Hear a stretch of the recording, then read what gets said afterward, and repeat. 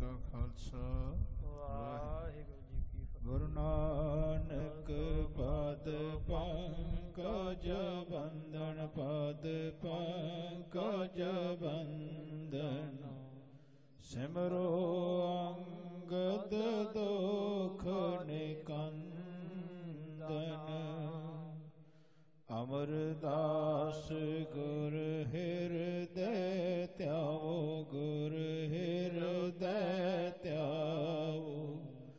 ਸ੍ਰੀ ਗੁਰੂ ਰਾਮਦਾਸ ਗੁਣ ਗਾਵੋ ਸ੍ਰੀ ਅਰਜਨ ਬਿਗਨਨ ਕੇ ਨਾਸਕ ਬਿਗਨਨ ਕੇ ਨਾਸਕ। ਸ੍ਰੀ ਹਰਿ ਗੋਬਿੰਦ ਸੁਭ ਸੁਮਤ ਪ੍ਰਕਾਸ਼ਕ। ਸ੍ਰੀ ਹਰਿ ਰਾਏ ਨਮੋ ਕਰ ਜੋਰੀ, ਨਮੋ ਕਰ ਜੋਰੀ। ਸ੍ਰੀ ਹਰਿ ਕ੍ਰਿਸ਼ਨ ਮਨਾਏ ਬਹੋਰੀ। ਤੀਕ ਬਹਾਦਰ ਪਰਮ ਕਿਰਪਾਲਾ ਪਰਮ ਸ੍ਰੀ ਗੁਰੂ ਗੋਬਿੰਦ ਸਿੰਘ ਵਿਸਾਲਾ, ਤਰੋ ਤਰਾ ਪਰ ਪੁਨ ਪੁਨ ਸੀਸਾ, ਪੁਨ ਪੁਨ ਸੀਸਾ।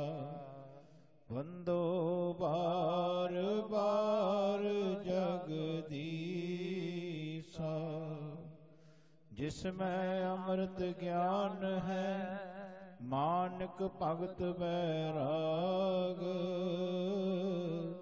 ਸ੍ਰੀ ਗੁਰੂ ਗ੍ਰੰਥ ਸਾਹਿਬ ਉਦਦ ਬੰਦੋ ਕਰ ਅਨੁਰਾਗ।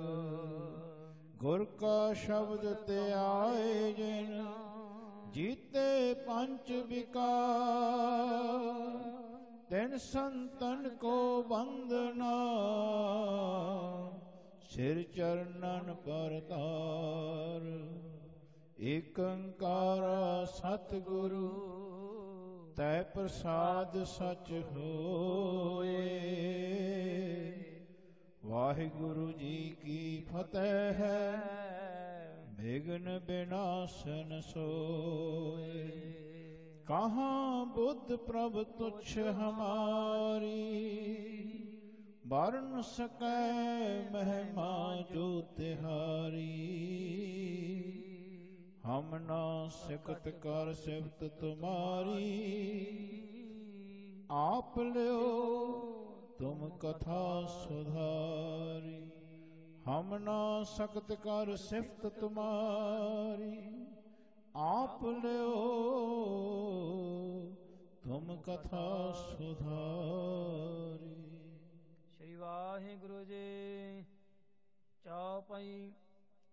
ਲਾਲੂ ਬੁੱਧਵਾਨ ਨਰ, ਦੂਸਰ ਦੁਰਗਾ ਨਾਮ। ਜੀਵਨ ਦਾ ਮਿਲ ਤੀਸਰੋ, ਚੱਲ ਆਏ ਗੁਰ ਸਾਮ। ਇਕ ਲਾਲੂ ਬੁੱਧਵਾਨ ਨਰ, ਦੂਸਰ ਦੁਰਗਾ ਨਾਮ। ਜੀਵਨ ਦਾ ਮਿਲ ਤੀਸਰੋ, ਚਲ ਆਏ ਗੁਰ ਸਾਮ। ਵਾਹਿਗੁਰੂ ਜੀ ਕਾ ਖਾਲਸਾ। ਵਾਹਿਗੁਰੂ ਜੀ ਕੀ ਫਤਿਹ। ਪਰਮ ਸਤਿਕਾਰਯੋਗ। ਸਤਿਗੁਰੂ ਸੱਚੇ ਪਾਤਸ਼ਾਹ ਜੀ ਦੀ ਸਾਜੀ ਨਵਾਜੀ ਗੁਰੂ ਪ੍ਰਸਾਦ ਸੰਗਤ ਜੀ। ਬਹੁਤ ਹੀ ਵੱਡੇ ਭਾਗਾਂ ਵਾਲੇ ਹਾਂ ਆਪਾਂ ਸਾਰੇ ਜੋ ਧੰਨ ਧੰਨ ਸਾਹਿਬ ਸ੍ਰੀ ਗੁਰੂ ਗ੍ਰੰਥ ਸਾਹਿਬ ਜੀ ਮਹਾਰਾਜ ਜੀ ਦੇ ਪਾਵਨ ਪਵਿੱਤਰ ਚਰਨਾਂ ਵਿੱਚ। ਸਤਿਗੁਰੂ ਸੱਚੇ ਪਾਤਸ਼ਾਹ ਜੀ ਦੀ ਕਿਰਪਾ ਸਦਕਾ ਜੁੜੇ ਬੈਠੇ ਹਾਂ। ਸੋਦਰ ਰਹਿਰਾ ਸਾਹਿਬ ਜੀ ਕੇ ਪਾਠ ਉਪਰੰਤ ਗੁਰੂ ਮਹਾਰਾਜ ਜੀ ਦੇ ਕੀਰਤਨੀਆਂ ਸਿੰਘਾਂ ਨੇ ਬਹੁਤ ਹੀ ਪਿਆਰ ਨਾਲ ਮਨੋਹਰ ਰਸ ਭਿੰਨਾ ਕੀਰਤਨ ਸਰਵਣ ਕਰਾਇਆ ਹੁਣ ਆ ਸਮੇਂ ਗੁਰੂ ਮਹਾਰਾਜ ਜੀ ਦੇ ਲੜੀਵਾਰ ਇਤਿਹਾਸ, ਜੀਵਨੀ ਦੇ ਗੁਰੂ ਅਮਰਦਾਸ ਸੱਚੇ ਪਾਤਸ਼ਾਹ ਤੱਕ ਪਹੁੰਚੇ ਹਨ। ਗੁਰੂ ਮਹਾਰਾਜ ਜੀ ਦੇ ਹੁਣ ਅਨਨ ਸਿੱਖ 72 ਗਿਨੇ ਹਨ ਭਾਈ ਸਾਹਿਬ, ਭਾਈ ਸੰਤੋਖ ਸਿੰਘ ਜੀ ਕਿ 72 ਸਿੱਖਾਂ ਦੀ ਜਿਹੜੀ ਵਾਰਤਾ ਹੈ, ਉਹਨਾਂ ਦਾ ਜ਼ਿਕਰ ਸਰਵਣ ਕਰਾ ਰਹੇ ਨੇ। ਪਿੱਛੇ ਭਾਈ ਬੱਲੂ ਜੀ ਦਾ ਜ਼ਿਕਰ ਆਇਆ ਲਾਲੂ ਜੀ ਦਾ ਜ਼ਿਕਰ ਆਇਆ ਸੋ ਪ੍ਰਾਗ ਜੀ ਦਾ ਜ਼ਿਕਰ ਆਇਆ ਗੁਰੂ ਮਹਾਰਾਜ ਜੀ ਦੇ ਜਿੰਨੇ ਵੀ ਸਿੱਖ ਸਨ, ਉਹਨਾਂ ਦੇ ਪ੍ਰਤੀ ਇਹ ਉਪਦੇਸ਼ ਬਖਸ਼ਿਸ਼ ਕੀਤਾ ਕਿ ਗੁਰੂ ਮਹਾਰਾਜ ਦਾ ਦਰ ਐਸਾ ਸੀ ਕਿ ਇਥੋਂ ਦੇ ਦਾਸ ਵੀ ਸ਼ਕਤੀਸ਼ਾਲੀ ਸਨ। ਉਹਨਾਂ ਕੋਲ ਵੀ ਰਿੱਧੀਆਂ ਸਿੱਧੀਆਂ, ਰਿੱਧ ਸਿੱਧ ਨਾਮੇ ਕੀ ਦਾਸੀ। ਇਹ ਉਹੀ ਹੀ ਚਰਨਾਂ ਚ ਰੁਲਦੀਆਂ ਫਿਰਦੀਆਂ ਸੀ। ਸ਼੍ਰੀ ਮਹਾਰਾਜ ਨੇ ਇਹ ਵੀ ਦਰਸਾਇਆ ਹੈ ਕਿ ਭਾਈ, ਚਾਹੇ ਜਿੰਨਾ ਮਰਜ਼ੀ ਤੁਹਾਡੇ ਕੋਲ ਧਨ ਦੌਲਤ ਹੋਵੇ, ਰੱਬ ਦੇ ਨਾਮ ਦੇ ਤੁਲ ਨਹੀਂ। ਸੋ ਪਿਛਲੀ ਵਾਰ ਦੋ ਲਾਲ ਲੈ ਕੇ ਆਏ ਸੀ ਭਾਈ ਲਾਲੂ ਤੇ ਮਹਾਰਾਜ ਨੇ ਉਹ ਦੋਨੋਂ ਲਾਲ ਭਾਈ ਲਾਲੂ ਜੀ ਨੂੰ ਕਿਹਾ ਕਿ ਭਾਈ ਨਦੀ ਵਿੱਚ ਸਿੱਟ ਦਿਓ, ਇਹਦਾ ਲੋੜ ਨਹੀਂ ਆਪਾਂ ਨੂੰ। ਤੇ ਉਵੇਂ ਜ਼ਿਕਰ ਉਹਨਾਂ ਨੇ ਬਚਨ ਕਮਾਉਂਦਿਆਂ ਹੋਇਆਂ ਬਿਆਸਾ ਦੇ ਉਸ ਗਹਿਰਾਈ ਦੇ ਵਿੱਚ ਸਿੱਟ ਦਿੱਤੇ ਤਾਂ ਕਿ ਮਹਾਰਾਜ ਇਹ ਦਿਖਾਉਣਾ ਚਾਹੁੰਦੇ ਸਨ, ਭਾਈ, ਇਹਨਾਂ ਦਾ ਕੋਈ ਮੁੱਲ ਨਹੀਂ। ਰਤਨਾ ਰਤਨ ਪਦਾਰਥ ਬਹੁ ਸਾਗਰ ਭਰਿਆ ਰਾਮ। ਬਾਣੀ ਗੁਰਬਾਣੀ ਲਾਗੇ ਤਿੰਨ ਹੱਥ ਚੜਿਆ ਰਾਮ ਕਹਿੰਦੇ, ਭਾਈ, ਉਹ ਜਿਹੜਾ ਰੱਬ ਦਾ ਨਾਮ ਰੂਪੀ ਰਤਨ ਹੈ, ਗੁਰ ਕਾ ਸ਼ਬਦ ਰਤਨ ਹੈ, ਹੀਰੇ ਜਿਤ ਜੜਾਓ, ਸ਼ਬਦ ਰਤਨ ਜਿਤ ਮਨ ਲਾਗਾ, ਇਹ ਹੋਆ ਸਮਾਓ। ਮਹਾਰਾਜ ਕਹਿੰਦੇ, ਇਹ ਸਭ ਤੋਂ ਵੱਡਾ ਰਤਨ ਹੈ, ਐਸਾ ਉਪਦੇਸ਼ ਬਖਸ਼ਿਸ਼ ਕੀਤਾ ਆਓ, ਅੱਗੇ ਭਾਈ ਸਾਹਿਬ ਹੋਰ ਵੀ ਸਿੱਖਾਂ ਦੀ ਵਾਰਤਾ ਗੁਰੂ ਅਮਰਦਾਸ ਸੱਚੇ ਪਾਤਸ਼ਾਹ ਜੀ ਦੇ ਸਮੇਂ ਦੀ ਵਰਣਨ ਕਰ ਰਹੇ ਨੇ। ਪਿਆਰ ਨਾਲ ਸਰਵਣ ਕਰੀਏ ਜੀ। ਚੌਪਈ ਇੱਕ ਲਾਲੂ ਬੁੱਧਵਾਨ ਨਰ ਦੂਸਰ ਦੁਰਗਾ ਨਾਮ। ਹੁਣ ਚਾਰ ਚਾਰ ਪਦਾਂ ਦਾ ਇੱਕ ਚੌਪਈ ਹੈ। ਇੱਥੇ ਹੁਣ ਐਸੇ ਐਸੇ ਸਿੱਖਾਂ ਦਾ ਨਾਂ ਹੁਣ ਦੱਸਣਗੇ ਜੋ ਕਿ ਆਮ ਇਤਿਹਾਸ ਵਿੱਚ ਬਹੁਤ ਹੀ ਘੱਟ ਮਿਲਦੇ ਨੇ। ਇੱਕ ਲਾਲੂ ਜਾਂ ਸਨ ਬੁੱਧਵਾਨ ਤੇ ਦੂਜਾ ਦੁਰਗਾ ਨਾਮ ਦਾ ਇੱਕ ਹੋਰ ਸਿੱਖ ਹੈ ਤੇ ਤੀਜਾ ਜੀਵੰਦਾ। ਕਹਿੰਦੇ ਇਹ ਵੀ ਸਨ ਕਹਿੰਦੇ ਇਹ ਗੁਰੂ ਮਹਾਰਾਜ ਜੀ ਦੇ ਦਰ ਦੇ ਉੱਤੇ। ਜੀਵਨ ਦਾ ਮਿਲ ਤੀਸਰੋ ਚੱਲ ਆਏ ਗੁਰ ਸਾਮ। ਕਹਿੰਦੇ ਜੀਵੰਦਾ ਵੀ ਜੋ ਤੀਸਰਾ ਸੀ ਗੁਰੂ ਮਹਾਰਾਜ ਜੀ ਦੇ ਦਰ ਤੇ ਚੱਲ ਕੇ ਆਏ ਹਨ। ਚੌਪਈ ਘਰ ਬੰਧਨ ਕੋ ਲਾਗੇ ਸੇਵਾ। ਕਹਿੰਦੇ ਗੁਰੂ ਮਹਾਰਾਜ ਦੇ ਚਰਨਾਂ ਨੂੰ ਲੱਗ ਕੇ ਗੁਰਦੁਆਰੇ ਸਾਹਿਬ ਗੁਰੂ ਮਹਾਰਾਜ ਦੇ ਇਸ ਧਰਮਸ਼ਾਲਾ ਵਿੱਚ ਗੋਬਿੰਦਵਾਲ ਸਾਹਿਬ ਸੇਵਾ ਕਰ ਰਹੇ ਨੇ। ਇੱਕ ਦਿਨ ਬੈਠ ਨਿਕਟ ਗੁਰ ਦੇਵਾ। ਕਹਿੰਦੇ ਤਿੰਨੋਂ ਗੁਰੂ ਮਹਾਰਾਜ ਦੇ ਕੋਲ ਇੱਕ ਦਿਨ ਨਿਕਟ ਨੇੜੇ ਹੋ ਕੇ ਬੈਠੇ ਹਨ। ਹਾਥ ਜੋਰ ਅਰਦਾਸ ਬਖਾਨੀ। ਕਹਿੰਦੇ ਹੱਥ ਜੋੜ ਕੇ ਅਰਦਾਸ ਬੇਨਤੀ ਜੋਦੜੀ ਕਰਨੀ ਕੀਤੀ ਹੈ। ਦੇਵ ਉਪਦੇਸ਼ ਆਪਨ ਜਨ ਜਾਣੀ ਮੇਰੇ ਮਾਲਕ ਆਪਣਾ ਜਾਣ ਕੇ ਉਪਦੇਸ਼ ਬਖਸ਼ਿਸ਼ ਕਰਨਾ ਕਰੋ ਜੀ। ਜਿਸ ਤੇ ਹੋਏ ਉਧਾਰ ਹਮਾਰਾ। ਜਿਹਦੇ ਨਾਲ ਸਾਡਾ ਉਧਾਰ ਹੋ ਸਕੇ। ਸ੍ਰੀ ਗੁਰੂ ਅਮਰ ਸੁਭਾਗ ਉਚਾਰਾ। ਗੁਰੂ ਅਮਰਦਾਸ ਸੱਚੇ ਪਾਤਸ਼ਾਹ ਜੀ ਨੇ ਹੁਣ ਬਚਨ ਉਚਾਰਨੇ ਕੀਤੇ ਹਨ ਇਹਨਾਂ ਪ੍ਰਤੀ। ਪਰ ਉਪਕਾਰ ਸਮਾਨ ਨ ਔਰ। ਕਹਿੰਦੇ ਪਰਉਪਕਾਰ ਵਰਗਾ ਹੋਰ ਕੋਈ ਜੀਵਨ ਦੇ ਵਿੱਚ ਵੱਡਾ ਭਾਵ ਨਹੀਂ ਹੈ। ਕਰਹਿ ਸਦਾ ਤਿਸ ਗਤ ਸੁਖ ਠੌਰ। ਕਹਿੰਦੇ ਜੀਵਨ ਦੇ ਵਿੱਚ ਇਹਦੇ ਨਾਲ ਆਪਾਂ ਨੂੰ ਗਤ ਮਿਲਦੀ ਹੈ ਸੰਸਾਰ ਦੀ। ਕਹਿੰਦੇ ਸੁਖ ਵੀ ਪ੍ਰਾਪਤ ਹੁੰਦਾ ਹੈ। ਸੋ ਉਪਕਾਰ ਸੋ ਤੀਨ ਪ੍ਰਕਾਰਾ ਕਹਿੰਦੇ ਉਪਕਾਰ ਵੀ ਤਿੰਨ ਪ੍ਰਕਾਰ ਦੇ ਦੱਸ ਰਹੇ ਨੇ ਮਹਾਰਾਜ। ਕਰੋ ਆਪ ਤੁਮ ਲਖ ਔਰ ਸਾਰਾ। ਕਹਿੰਦੇ ਇਹਨੂੰ ਲਖਣਾ ਕਰੋ ਆਪਣੇ ਹਿਰਦੇ ਵਿੱਚ ਸਾਰੇ ਉਪਕਾਰ ਨੂੰ। ਚੇਤਕ ਆਪਣੇ ਢਿੱਗ ਧਨ ਅਹੈ। ਕਹਿੰਦੇ ਹੁਣ ਪਹਿਲਾ ਉਪਕਾਰ ਦੱਸ ਰਹੇ ਨੇ ਕਿ ਜਿਤਨਾ ਤੁਹਾਡੇ ਕੋਲ ਮਾਇਆ ਹੈ ਪੈਸੇ ਹਨ। ਦੇਹੋ ਰੰਕ ਜੋ ਦੁਖੀਆ ਲਹੈ। ਕਹਿੰਦੇ ਜਿਹੜਾ ਦੁਖੀਆ ਹੋਵੇ ਗਰੀਬ ਹੋਵੇ ਉਹਨੂੰ ਦੇਣਾ ਕਰੋ ਭਾਈ। ਕੋ ਗਰੀਬ ਅਨਾਥਨ ਜਹਾਂ। ਕਹਿੰਦੇ ਜਿੱਥੇ ਤੁਹਾਨੂੰ ਅਨਾਥ ਗਰੀਬ ਨਜ਼ਰ ਆਉਂਦਾ ਹੋਵੇ। ਵਸਤਰ ਆਹਾਰ ਦੀਜੀਐ ਹਿਤਹਾਂ ਉਹਨਾਂ ਨੂੰ ਵਸਤਰ ਢਕ ਤਨ ਢਕਣ ਨੂੰ ਜ਼ਰੂਰ ਦਿਆ ਕਰੋ ਭਾਈ। ਦੇਖੋ ਦੁਖੀ ਦਇਆ ਕੋ ਧਾਰੋ ਕਹਿੰਦੇ ਜਿਸ ਵੇਲੇ ਤੁਹਾਨੂੰ ਕੋਈ ਦੁਖੀ ਦਿਖੇ ਤੇ ਹਿਰਦੇ 'ਚ ਦਇਆ ਧਾਰਨੀ ਕਰੋ। ਯਥਾ ਸ਼ਕਤ ਤੇ ਦੁਖ ਨਿਰਵਾਰ ਹੋ। ਜਿਤਨਾ ਤੁਹਾਡੇ ਤੋਂ ਹੋ ਸਕਦਾ ਹੈ। ਆਪਣਾ ਘਰ ਦਾ ਗੁਜਰਾਨ ਹੋਣ ਉਪਰੰਤ ਉਹਨਾਂ ਦਾ ਵੀ ਦੁੱਖ ਨਿਵਾਰਨਾ ਕਰੋ। ਨਿਜ ਬਾਣੀ ਤੇ ਸ਼ੁਭ ਬਣ ਆਵੈ। ਕਹਿੰਦੇ ਫਿਰ ਆਪਣੀ ਜਿਹੜੀ ਬਾਣੀ ਹੈ ਉਹਦੇ ਨਾਲ ਬਹੁਤ ਪਿਆਰ ਨਾਲ ਬੋਲਣਾ ਤਾਂ ਕਿ ਸ਼ੁਭ ਚੰਗਾ ਬਣ ਆਵੇ ਦੂਜੇ ਦਾ ਵੀ। ਵਿਗੜਿਓ ਕਾਰਜ ਪਰ ਸੁਧਰਾਵੈ। ਕਹਿੰਦੇ ਬਾਣੀ ਇੱਕ ਐਸੀ ਚੀਜ਼ ਹੈ ਜਿਹਦੇ ਨਾਲ ਲੋਕਾਂ ਦੇ ਵਿਗੜੇ ਹੋਏ ਕਾਰਜ ਵੀ ਸਵਰ ਜਾਂਦੇ ਨੇ। ਆਪਾਂ ਬਾਣੀ ਨਾਲ ਹੀ ਸਭ ਕੁਝ ਵਿਗਾੜ ਲੈਣੇ ਧਿਆਨ ਰੱਖਣਾ। ਸੋ ਬਾਣੀ ਨੂੰ ਘੜਨ ਵਾਸਤੇ ਹੀ, ਸ਼ਬਦ ਨੂੰ ਘੜਨ ਵਾਸਤੇ ਹੀ ਗੁਰਦੁਆਰੇ ਆਈਂਦਾ ਹੈ। ਨਹੀਂ ਤਾਂ ਬੰਦੇ ਪੜ੍ਹ ਲਿਖ ਜਾਂਦੇ ਨੇ, ਬੋਲਣਾ ਨਹੀਂ ਆਉਂਦਾ। ਪੜ੍ਹ ਲਿਖ ਜਾਂਦੇ ਨੇ, ਵਿਹਾਰ ਕਰਨ ਦੇ ਬੋਲ ਨਹੀਂ ਆਉਂਦੇ। ਅਸੀਂ ਬੋਲਾਂ ਨਾਲ ਹੀ ਬੰਦੇ ਨੂੰ ਮਾਰ ਦਿੰਨੇ ਆ। ਜੀਵਨ ਵਿੱਚ ਬੋਲਾਂ ਨਾਲ ਹੀ ਬੰਦੇ ਨੂੰ ਜੀਵਨ ਮਿਲਦਾ ਹੈ। ਇਹ ਯਾਦ ਰੱਖਣਾ ਹੈ। ਮਹਾਰਾਜ ਕਹਿੰਦੇ, ਉਤਪਤ ਪਰ ਲੋ, ਸ਼ਬਦੇ ਹੋਵੇ। ਸ਼ਬਦੇ ਹੀ ਫਿਰ ਉਪਤ ਹੋਵੇ। ਆਪਣਾ ਜਿਹੜੇ ਬੋਲ ਨੇ ਜੇ ਆਪਾਂ ਨੂੰ ਸਹੀ ਤਰੀਕੇ ਨਾਲ ਬੋਲਣੇ ਨਾ ਆਉਣ, ਝਗੜੇ ਪੈ ਜਾਂਦੇ ਨੇ ਜੇ ਬੋਲਾਂ ਨੂੰ ਘੜ ਕੇ ਬੋਲੇ ਬੰਦਾ, ਤੇ ਘੜੇ ਬੋਲਾਂ ਤੋਂ ਝਗੜੇ ਨਿਵਰਤ ਹੋ ਜਾਂਦੇ ਸੋ ਮਹਾਰਾਜ ਕਹਿੰਦੇ, ਇੱਕ ਬੋਲ ਤਾਂ ਆਮ ਦੁਨੀਆ ਦੇ ਬੰਦੇ ਬੋਲਦੇ ਨੇ। ਇੱਕ ਬੋਲ ਜਿਹੜੇ ਗੁਰਸਿੱਖ ਗੁਰੂ ਮਹਾਰਾਜ ਜੀ ਤੋਂ ਸ਼ਬਦ ਸੁਣ ਕੇ, ਸਿੱਖ ਕੇ, ਉਸ ਤਰ੍ਹਾਂ ਉਸ ਭਾਵ ਵਿੱਚ ਬੋਲਦੇ ਨੇ। ਇਹਨੂੰ ਸ਼ਬਦ ਨੂੰ ਘੜਨਾ ਕਹਿੰਦੇ ਨੇ। ਕਹਿੰਦੇ, ਆਪਣੇ ਸ਼ਬਦ ਨਾਲ ਜਦੋਂ ਆਪਾਂ ਐਸੇ ਗੁਰਬਾਣੀ ਦੇ ਭਾਵ ਨਾਲ ਬੋਲਦੇ ਆ ਲੋਕਾਂ ਦਾ ਵੀ ਉਧਾਰ ਹੋ ਜਾਂਦਾ ਹੈ। ਕਹਿ ਵਿਦਿਆ ਹੋਏ ਆਪਣੇ ਪਾਸ ਚਾਹੇ ਤੁਹਾਡੇ ਕੋਲ ਕੋਈ ਵੀ ਵਿਦਿਆ ਹੋਵੇ। ਅਪਰ ਪੜਾਵੇ ਧਰੇ ਹੁਲਾਸ। ਦੂਜਿਆਂ ਨੂੰ ਖੁਸ਼ ਹੋ ਕੇ ਪੜਾਇਆ ਕਰੋ ਭਾਈ। ਮਨ ਮਨ ਤੇ ਸਭ ਕੋ ਭਲ ਚਾਹੈ। ਕਹਿੰਦੇ ਆਪਣੇ ਮਨ ਦੇ ਉੱਤੇ ਭਲਾ ਚਾਹਣਾ ਦੂਜੇ ਦਾ? ਬੁਰਾ ਕਰਨ ਹਿਤ ਕਬ ਨਾ ਉਮਾ ਹੈ ਕਹਿੰਦੇ ਬੁਰਾ ਕਰਨ ਵਾਸਤੇ ਆਪਣਾ ਚਿੱਤ ਨਾ ਖੜਾ ਹੋਵੇ ਕਦੇ। ਪਾਸ ਪਦਾਰਥ ਅਰ ਬਚ ਕਹੈ। ਕਹਿੰਦੇ ਆਪਣੇ ਕੋਲ ਜੋ ਵੀ ਪਦਾਰਥ ਹੋਣ ਕਹਿੰਦੇ ਉਹਨਾਂ ਨੂੰ ਬਚਨ ਕਰਕੇ ਜੀਵਨ ਵਿੱਚ ਕਹਿਣਾ ਕਹੇ। ਤ੍ਰਿਤੀਏ ਤਿਸ ਕੋ ਬੁਰਾ ਨਾ ਚਾਹੈ। ਕਹਿੰਦੇ ਤ੍ਰਿਤੀਆ ਇਹ ਯਾਦ ਰੱਖਣਾ ਕਿ ਕਿਸੇ ਦਾ ਬੁਰਾ ਹਿਰਦੇ ਵਿੱਚ ਨਾ ਚਾਹੇ। ਕਹਿੰਦੇ ਫਰੀਦਾ ਬੁਰੇ ਦਾ ਭਲਾ ਕਰ। ਗੁੱਸਾ ਮਨ ਨਾ ਹੰਡਾਏ ਦੇਹੀ ਰੋਗ ਨਾ ਲੱਗਈ ਪੱਲੇ ਸਭ ਕੁਛ ਪਾਏ। ਕਿਸੇ ਦਾ ਬੁਰਾ ਨਹੀਂ ਕਰਨਾ ਪਾਏ ਪਰ ਕਾ ਬੁਰਾ ਨਾ ਰੱਖੋ ਚੀਤ।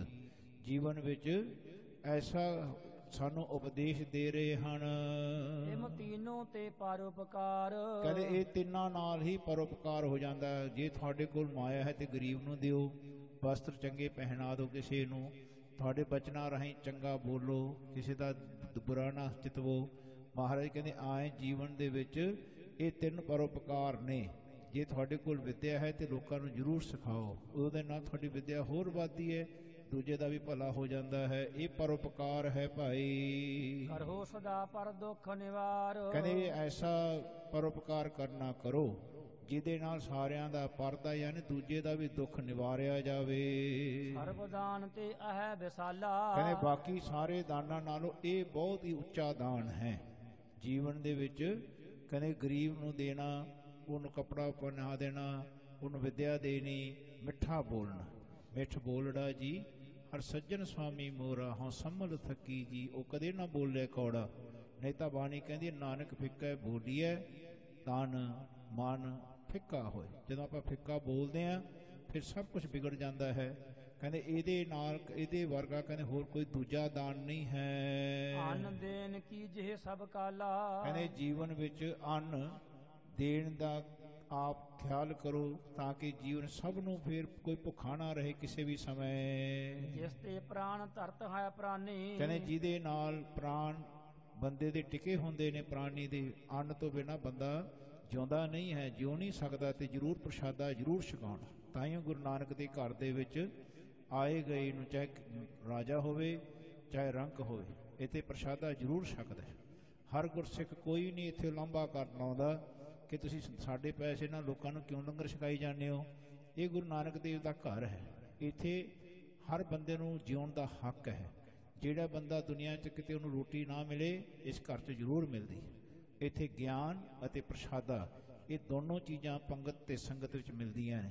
ਸੋ ਮਹਾਰਾਜ ਕਹਿੰਦੇ, ਇੱਥੇ ਵਿਦਿਆ ਵੀ ਦਿੱਤੀ ਜਾਂਦੀ ਹੈ ਇੱਥੇ ਭੋਜਨ ਵੀ ਦਿੱਤਾ ਜਾਂਦਾ ਹੈ। ਆਪਰ ਹੋਏ ਕਿ ਮਤਾਹੇ ਸਮਾਨੀ। ਕਹਿੰਦੇ ਜੀਵਨ ਵਿੱਚ ਕੋਈ ਹੋਰ ਹੋਵੇ ਉਹਦੇ ਸਮਾਨ ਹੋ ਕੇ ਯਾਨੀ ਉਹਨੂੰ ਆਪਣਾ ਜਾਣ ਕੇ ਐਸਾ ਉਹਦੀ ਹੈਲਪ ਕਰੋ ਮਦਦ ਕਰੋ। ਕਾਚੋ ਪਾਕੋ ਜਿਉ ਕਿਉ ਦੀਜੈ। ਕਹਿੰਦੇ ਜਿਵੇਂ ਤੁਹਾਡੇ ਕੋਲ ਕੱਚਾ ਪੱਕਾ ਹੋਵੇ ਉਸ ਨੂੰ ਜੈਸਾ ਵੀ ਹੋਵੇ ਜੋ ਤੁਸੀਂ ਛਕਦੇ ਹੋ ਉਹਨੂੰ ਜ਼ਰੂਰ ਦਿਓ। ਸ਼ੁੱਧ ਦੇਖ ਕਰ ਨਾਹਨ ਕੀਜੈ। ਕਹਿੰਦੇ ਕੋਈ ਵੀ ਛੁੱਤਤ ਯਾਨੀ ਭੁੱਖਾ ਦੇਖ ਕੇ ਉਹਨੂੰ ਨਾ ਨਾ ਕਰਿਓ। ਜਿਸ ਕਿਸ ਸਮੇਂ ਸਾਂਝ ਕੈ ਪ੍ਰਾਤ। ਕਹਿੰਦੇ ਜੈਸੇ ਕੈਸੇ ਵੀ ਚਾਹੇ ਸਾਂਝ ਹੋਵੇ ਚਾਹੇ ਸ਼ਾਮ ਸਵੇਰ ਹੋਵੇ। ਬਿਨਾ ਵਿਚਾਰੇ ਭੋਜਨ ਦਾਤ। ਕਹਿੰਦੇ ਬਿਨਾ ਵਿਚਾਰੇ ਭੋਜਨ ਦੀ ਦਾਤ ਦੇ ਦੇਣੀ ਪਏ ਚਾਹੇ ਸਵੇਰੇ ਆ ਜੇ ਚਾਹੇ ਸ਼ਾਮ ਨੂੰ ਆ ਜੇ ਕੋਈ ਬੰਦਾ ਭੁੱਖਾ ਆ ਜਾਏ ਉਹਨੂੰ ਮੋੜਨਾ ਨਹੀਂ ਪਾਈ ਊਚ ਨੀਚ ਨਹਿ ਪਰਖੋ ਜਾਤੀ। ਕਹਿੰਦੇ ਉਹਦਾ ਉੱਚਾ ਨੀਵਾਂ ਨਾ ਤੇ ਉਹਦੀ ਜਾਤੀ ਨਾ ਪਰਖਿਓ। ਮਹਾਰਾਜ ਕਹਿੰਦੇ ਜਿੱਥੇ ਲੇਖਾ ਮੰਗੀਏ ਤਿੱਥੇ ਦੇਹ ਜਾਤ ਨਾ ਜਾਏ। ਆਪਾਂ ਸਭ ਰੱਬ ਦੇ ਬੱਚੇ ਹਾਂ ਕੋਈ ਭੁੱਖਾ ਆ ਜੇ ਚਾਹੇ ਕਿਸੇ ਜਾਤੀ ਦਾ ਹੋਵੇ ਜ਼ਰੂਰ ਉਹਨੂੰ ਪ੍ਰਸ਼ਾਦਾ ਛਕਾ ਦਿਓ ਭਾਈ। ਏ ਕਰ ਅੰਨ ਕਰੋ ਤ੍ਰਿਪਤਾਤੀ। ਕਹਿ- ਕਹਿੰਦੇ ਉਹਨੂੰ ਅੰਨ ਦੇ ਕੇ ਕਹਿੰਦੇ ਉਹਨੂੰ ਤ੍ਰਿਪਤ ਕਰ ਦਿਓ ਉਹਨੂੰ ਭੁੱਖਾ ਨਾ ਰਹਿਣ ਦਿਓ। ਸ੍ਰੀ ਗੁਰ ਅਮਰਦਾਸ ਕੀ ਬਾਣੀ? ਕਹਿੰਦੇ ਗੁਰੂ ਅਮਰਦਾਸ ਸੱਚੇ ਪਾਤਸ਼ਾਹ ਜੀ ਦੀ ਇਹ ਬਾਣੀ ਹੈ। ਸਰਦਾ ਧਰ ਔਰ ਤੀਨੋਂ ਮਾਨੀ। ਕਹਿੰਦੇ ਸ਼ਰਧਾ ਧਰ ਕੇ ਇਹ ਤਿੰਨਾਂ ਨੇ ਕਹਿੰਦੇ ਲਾਲੂ ਨੇ ਦੁਰਗਾ ਨੇ ਅਤੇ ਜਵੰਦੇ ਨੇ। ਇਹ ਤਿੰਨੋਂ ਮਹਾਰਾਜ ਦੇ ਕੋਲ ਆਏ ਸੀ ਇਹ ਬਚਨ ਮੰਨ ਲਿਆ ਉਹਨਾਂ ਨੇ। ਤੀਨ ਵਿਦਨ ਕੀਨਸ ਉਪਕਾਰਾ? ਕਹਿੰਦੇ ਤੀਨ ਵਿਦ ਕਹਿੰਦੇ ਐਸੇ ਦੱਸੇ ਜਿਹਦੇ ਨਾਲ ਉਪਕਾਰ ਕੀਤੇ ਜਾ ਸਕਦੇ ਹਨ। ਦੇਤ ਸ਼ੁੱਧ ਕੋ ਅਦਕ ਆਹਾਰਾ। ਕਹਿੰਦੇ ਜਿਹੜਾ ਵੀ ਗਰੀਬ ਭੁੱਖਾ ਹੋਵੇ ਉਹਨੂੰ ਆਹਾਰ ਜ਼ਰੂਰ ਦੇਣਾ ਅਦਕ। ਗੁਰ ਕੇ ਸਿੱਖ ਭਏ ਇਸ ਰੀਤ। ਕਹਿੰਦੇ ਗੁਰ ਕੇ ਸਿੱਖ ਕਹਿੰਦੇ ਇਸ ਰੀਤੀ ਨਾਲ ਕਹਿੰਦੇ ਪ੍ਰਾਪਤ ਬਣਦੇ ਹਨ। ਆਵੇਂ ਦਰਸ਼ਨ ਕੋ ਧਰ ਪ੍ਰੀਤ।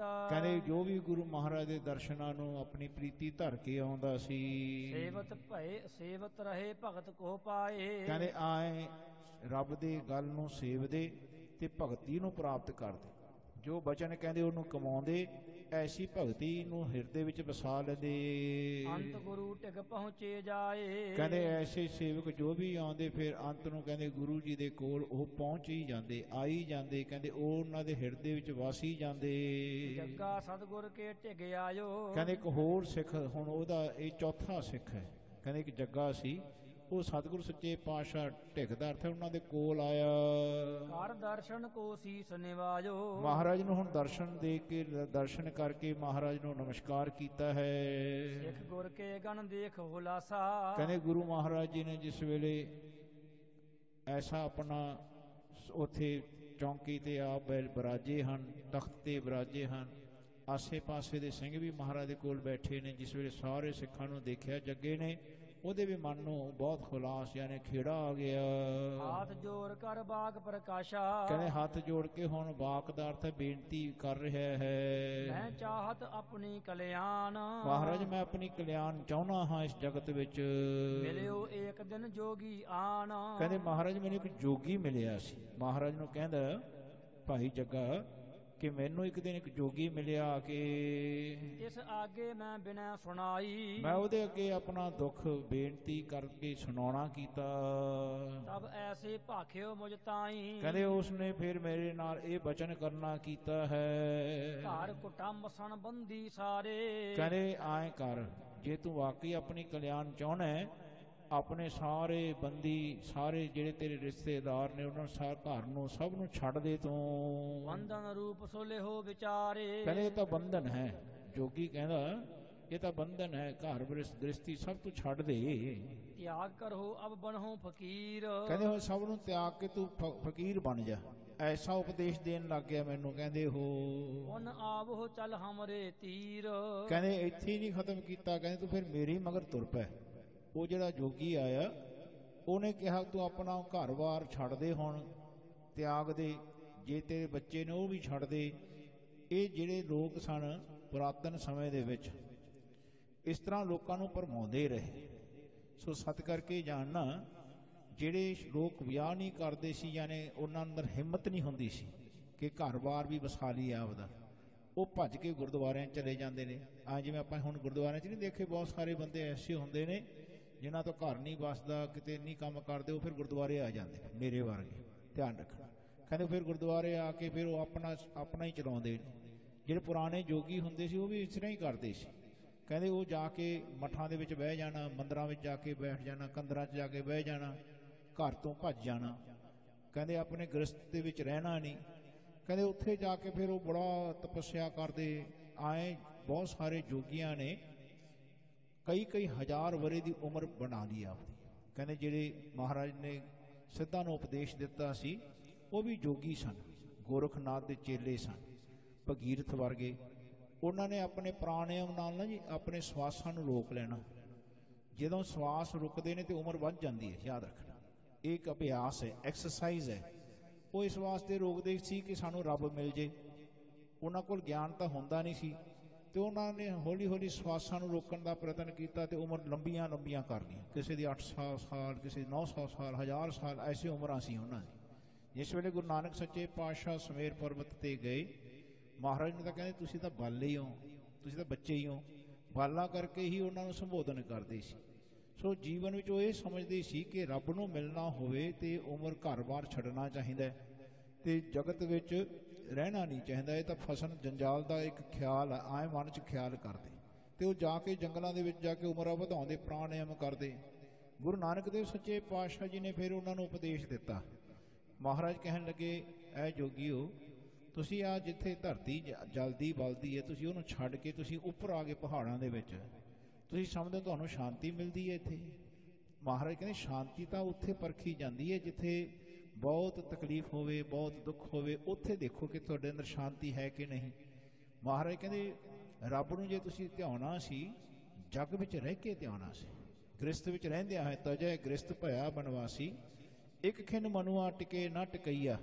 ਮਹਾਰਾਜ ਕਹਿੰਦੇ, ਤੂੰ ਗ੍ਰਸਤ ਛੱਡ ਕੇ ਜੰਗਲਾਂ ਵਿੱਚ ਆ ਗਿਆ। ਕਹਿੰਦੇ, ਧਾਵਤ ਧਾਏ ਤਦੈ ਘਰ ਆਵੈ, ਹਰ ਹਰ ਸਾਧੂ ਸਰਨ ਪਰ ਪਵਈਆ ਮਹਾਰਾਜ ਕਹਿੰਦੇ, ਤੂੰ ਸਾਰਿਆਂ ਨੂੰ ਧੱਕੇ ਖਾਂਦੇ ਖਾਂਦੇ ਫੇਰ ਤੂੰ ਘੁੰਮ ਕੇ ਇੱਥੇ ਹੀ ਆ ਕੇ ਮੰਗਦਾ ਰੋਟੀਆਂ। ਕਹਿੰਦੇ, ਜੀਵਨ ਵਿੱਚ ਕਾਹਦਾ ਤੂੰ ਗ੍ਰਸਤ ਛੱਡਿਆ?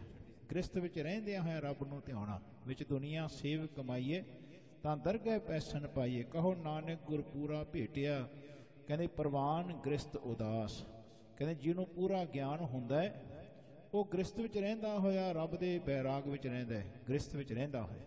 ਗ੍ਰਸਤ ਨਹੀਂ ਛੱਡਣਾ, ਆਪਣੇ ਕਾਰੋਬਾਰ ਨਹੀਂ ਛੱਡਨੇ ਰੱਬ ਨੂੰ ਜੇ ਧਿਆਉਣਾ ਹੈ ਕਹਿੰਦੇ ਸੰਸਾਰ ਵਿੱਚ ਰਹਿੰਦਿਆਂ ਹੋਇਆਂ ਰੱਬ ਨੂੰ ਧਿਆਉਂਦਿਆਂ ਧਿਆਉਂਦਿਆਂ ਹੋਇਆਂ ਕਰਮ ਕਮਾਉਣਾ ਤੇ ਜਾਣਨਾ ਕਿ ਤੁਹਾਡੇ ਵਿੱਚੋਂ ਰੱਬ ਕਰ ਰਹੇ ਨੇ। ਰੱਬ ਦਾ ਕੀਤਾ ਹੋ ਰਿਹਾ ਉਹ ਗਿਆਨ ਪ੍ਰਾਪਤ ਕਰੋ। ਐਸਾ ਰੱਬ ਨੂੰ ਧਿਆਉਂਦਾ ਜ਼ਿਕਰ ਹੁਣ ਮਹਾਰਾਜ ਸਮਝਾਉਣਗੇ। ਸਦੇ ਹਿਤ ਲਿਹੋ ਮਮ ਉਪਦੇਸ਼। ਮਹਾਰਾਜ ਜੀ ਮੇਰੇ ਕਲਿਆਣ ਹਿਤ ਮੈਨੂੰ ਉਪਦੇਸ਼ ਦੇਣਾ ਕਰੋ। ਸ਼ੋਰੋ ਘਰ ਕੋ ਸਹਿਤ ਕਲੇਸ਼। ਕਹਿੰਦੇ ਉਹ ਜੀਵਨ ਦੇ ਵਿੱਚ ਆਪਣਾ ਜਿਹੜਾ ਜੋਗੀ ਆਇਆ ਇਸ ਜੱਗੇ ਨੂੰ ਕਹਿਣ ਲੱਗਿਆ ਤੂੰ ਆਪਣਾ ਜੇ ਕਲਿਆਣ ਚਾਹਣਾ ਤੂੰ ਘਰ-ਬਾਰ ਛੱਡ ਦੇ। ਕਹਿੰਦੇ ਤੂੰ ਸਾਡੇ ਕੋਲ ਆਉਣਾ ਕਰ ਸਾਡੇ ਨਾਲ ਚੱਲ ਤੂੰ ਇਹ ਘਰ ਦਾ ਕਲੇਸ਼ ਮਿਟਾ ਦੇ। ਰਾਵਣ ਨਿਕਟ ਚਾਹੂੰ ਮੈਂ ਪੁੱਛਾ। ਹੁਣ ਗੁਰੂ ਅੰਗਦ ਪਾਸ਼ਾ ਗੁਰੂ ਅਮਰਦਾਸ ਜੀ ਪਾਸ਼ਾ ਜੀ ਕੋਲ ਜੱਗਾ ਪੁੱਛਦਾ ਹੈ ਕਿ ਮਹਾਰਾਜ ਰਾਵਰ ਦਾ ਅਰਥ ਹੈ ਮਹਾਰਾਜ ਆਪ ਜੀ ਅੱਗੇ ਮੈਂ ਬੇਨਤੀ ਕਰਦਾ ਪੁੱਛਦਾ ਮੈਨੂੰ ਦੱਸਣਾ ਕਰੋ। ਕਿਮ ਹੋਏ ਸ਼ਰੇ ਬਣੈ ਔਰ ਸ਼ੂਸ਼ਾ ਕਹਿੰਦੇ ਕਿਵੇਂ ਇਹ ਜੀਵਨ ਦੇ ਵਿੱਚ ਕਲਿਆਣ ਹੋ ਸਕਦਾ ਹੈ? ਕਿਵੇਂ ਇਸ ਚੀਜ਼ ਤੋਂ ਜਿਹੜੋ ਜੀਵਨ ਦੀ ਹੋਛੀਆਂ ਗੱਲਾਂ ਇਹ ਤੋਂ ਉੱਪਰ ਉੱਠਿਆ ਜਾ ਸਕਦਾ ਹੈ? ਕਿਮ ਪ੍ਰਾਪਤ ਹੋਏ ਭਗਤ ਮਹਾਨੀ? ਕਹਿੰਦੇ ਕਿਵੇਂ ਇਹ ਭਗਤੀ ਜਿਹੜੀ ਮਹਾਨ ਹੈ ਇਹ ਪ੍ਰਾਪਤ ਹੋ ਸਕਦੀ ਹੈ? ਜਿਸ ਤੇ ਪ੍ਰਾਪਤ ਪ੍ਰਭ ਨਿਰਵਾਨੀ ਕਹਿੰਦੇ ਜੀ ਤੋਂ ਪ੍ਰਭ ਨਿਰਵਾਣ ਪ੍ਰਾਪਤ ਹੋ ਜਾਏ। ਨਿਰਵਾਣੀ ਕਹਿੰਦੇ ਹਨ ਜੀਵਨ ਵਿੱਚ ਯਾਦ ਰੱਖਣਾ।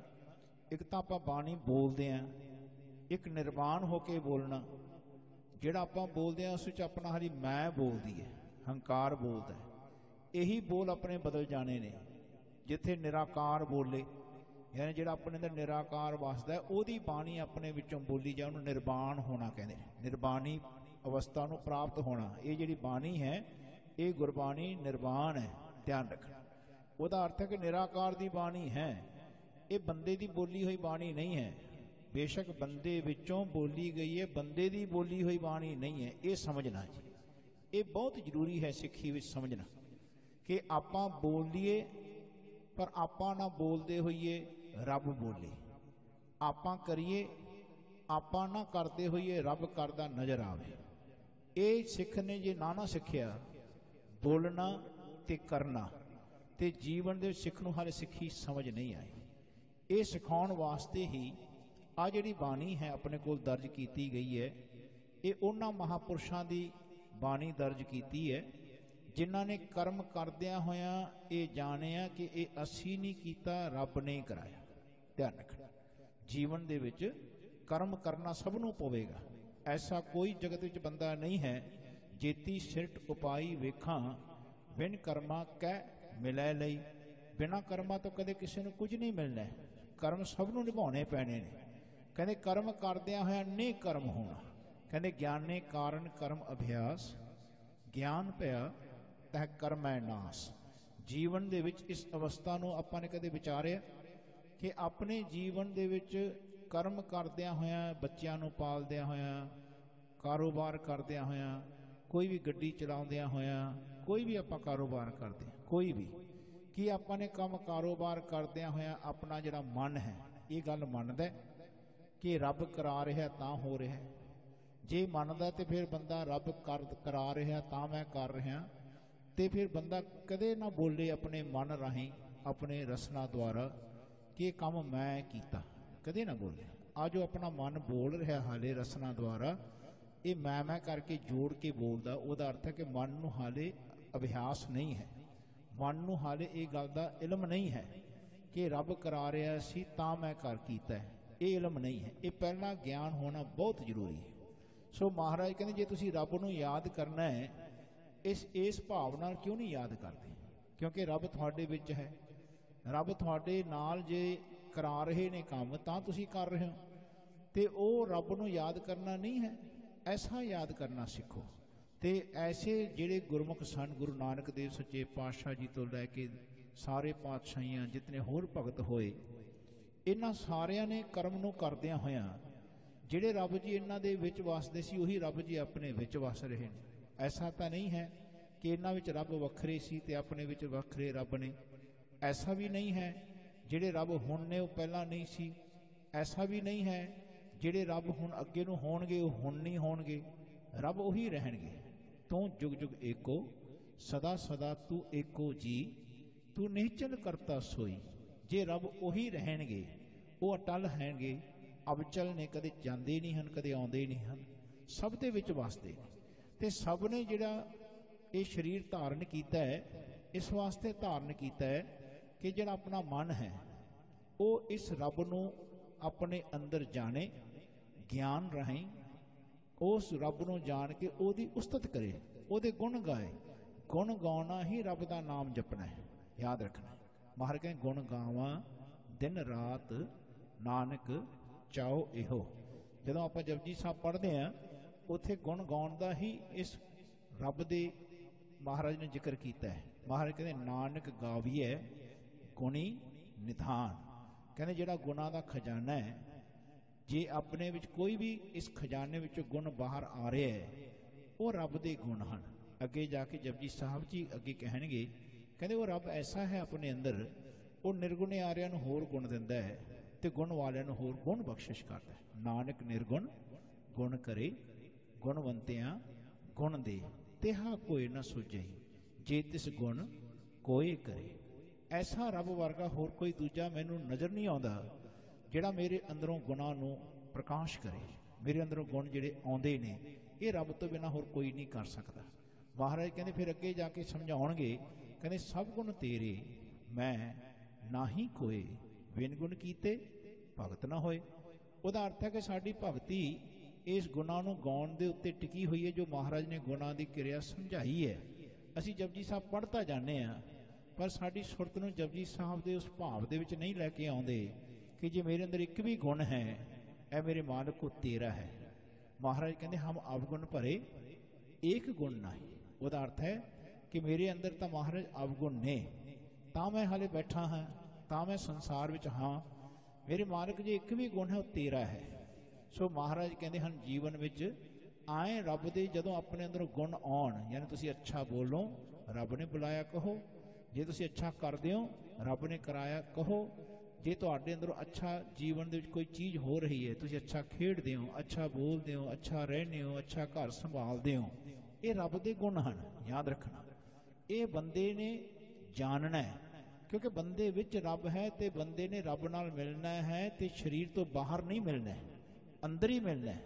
ਮਹਾਰਾਜ ਕਹਿੰਦੇ, ਉਹਦੇ ਗੁਣਾਂ ਨੂੰ ਆਪਣੇ ਅੰਦਰੋਂ ਬਾਹਰ ਆਉਂਦਿਆਂ ਨੂੰ ਜਾਣੋ, ਇਹ ਰੱਬ ਦੇ ਕਰਕੇ ਤੁਸੀਂ ਉਹਦੇ ਗੁਣ ਗਾਓ।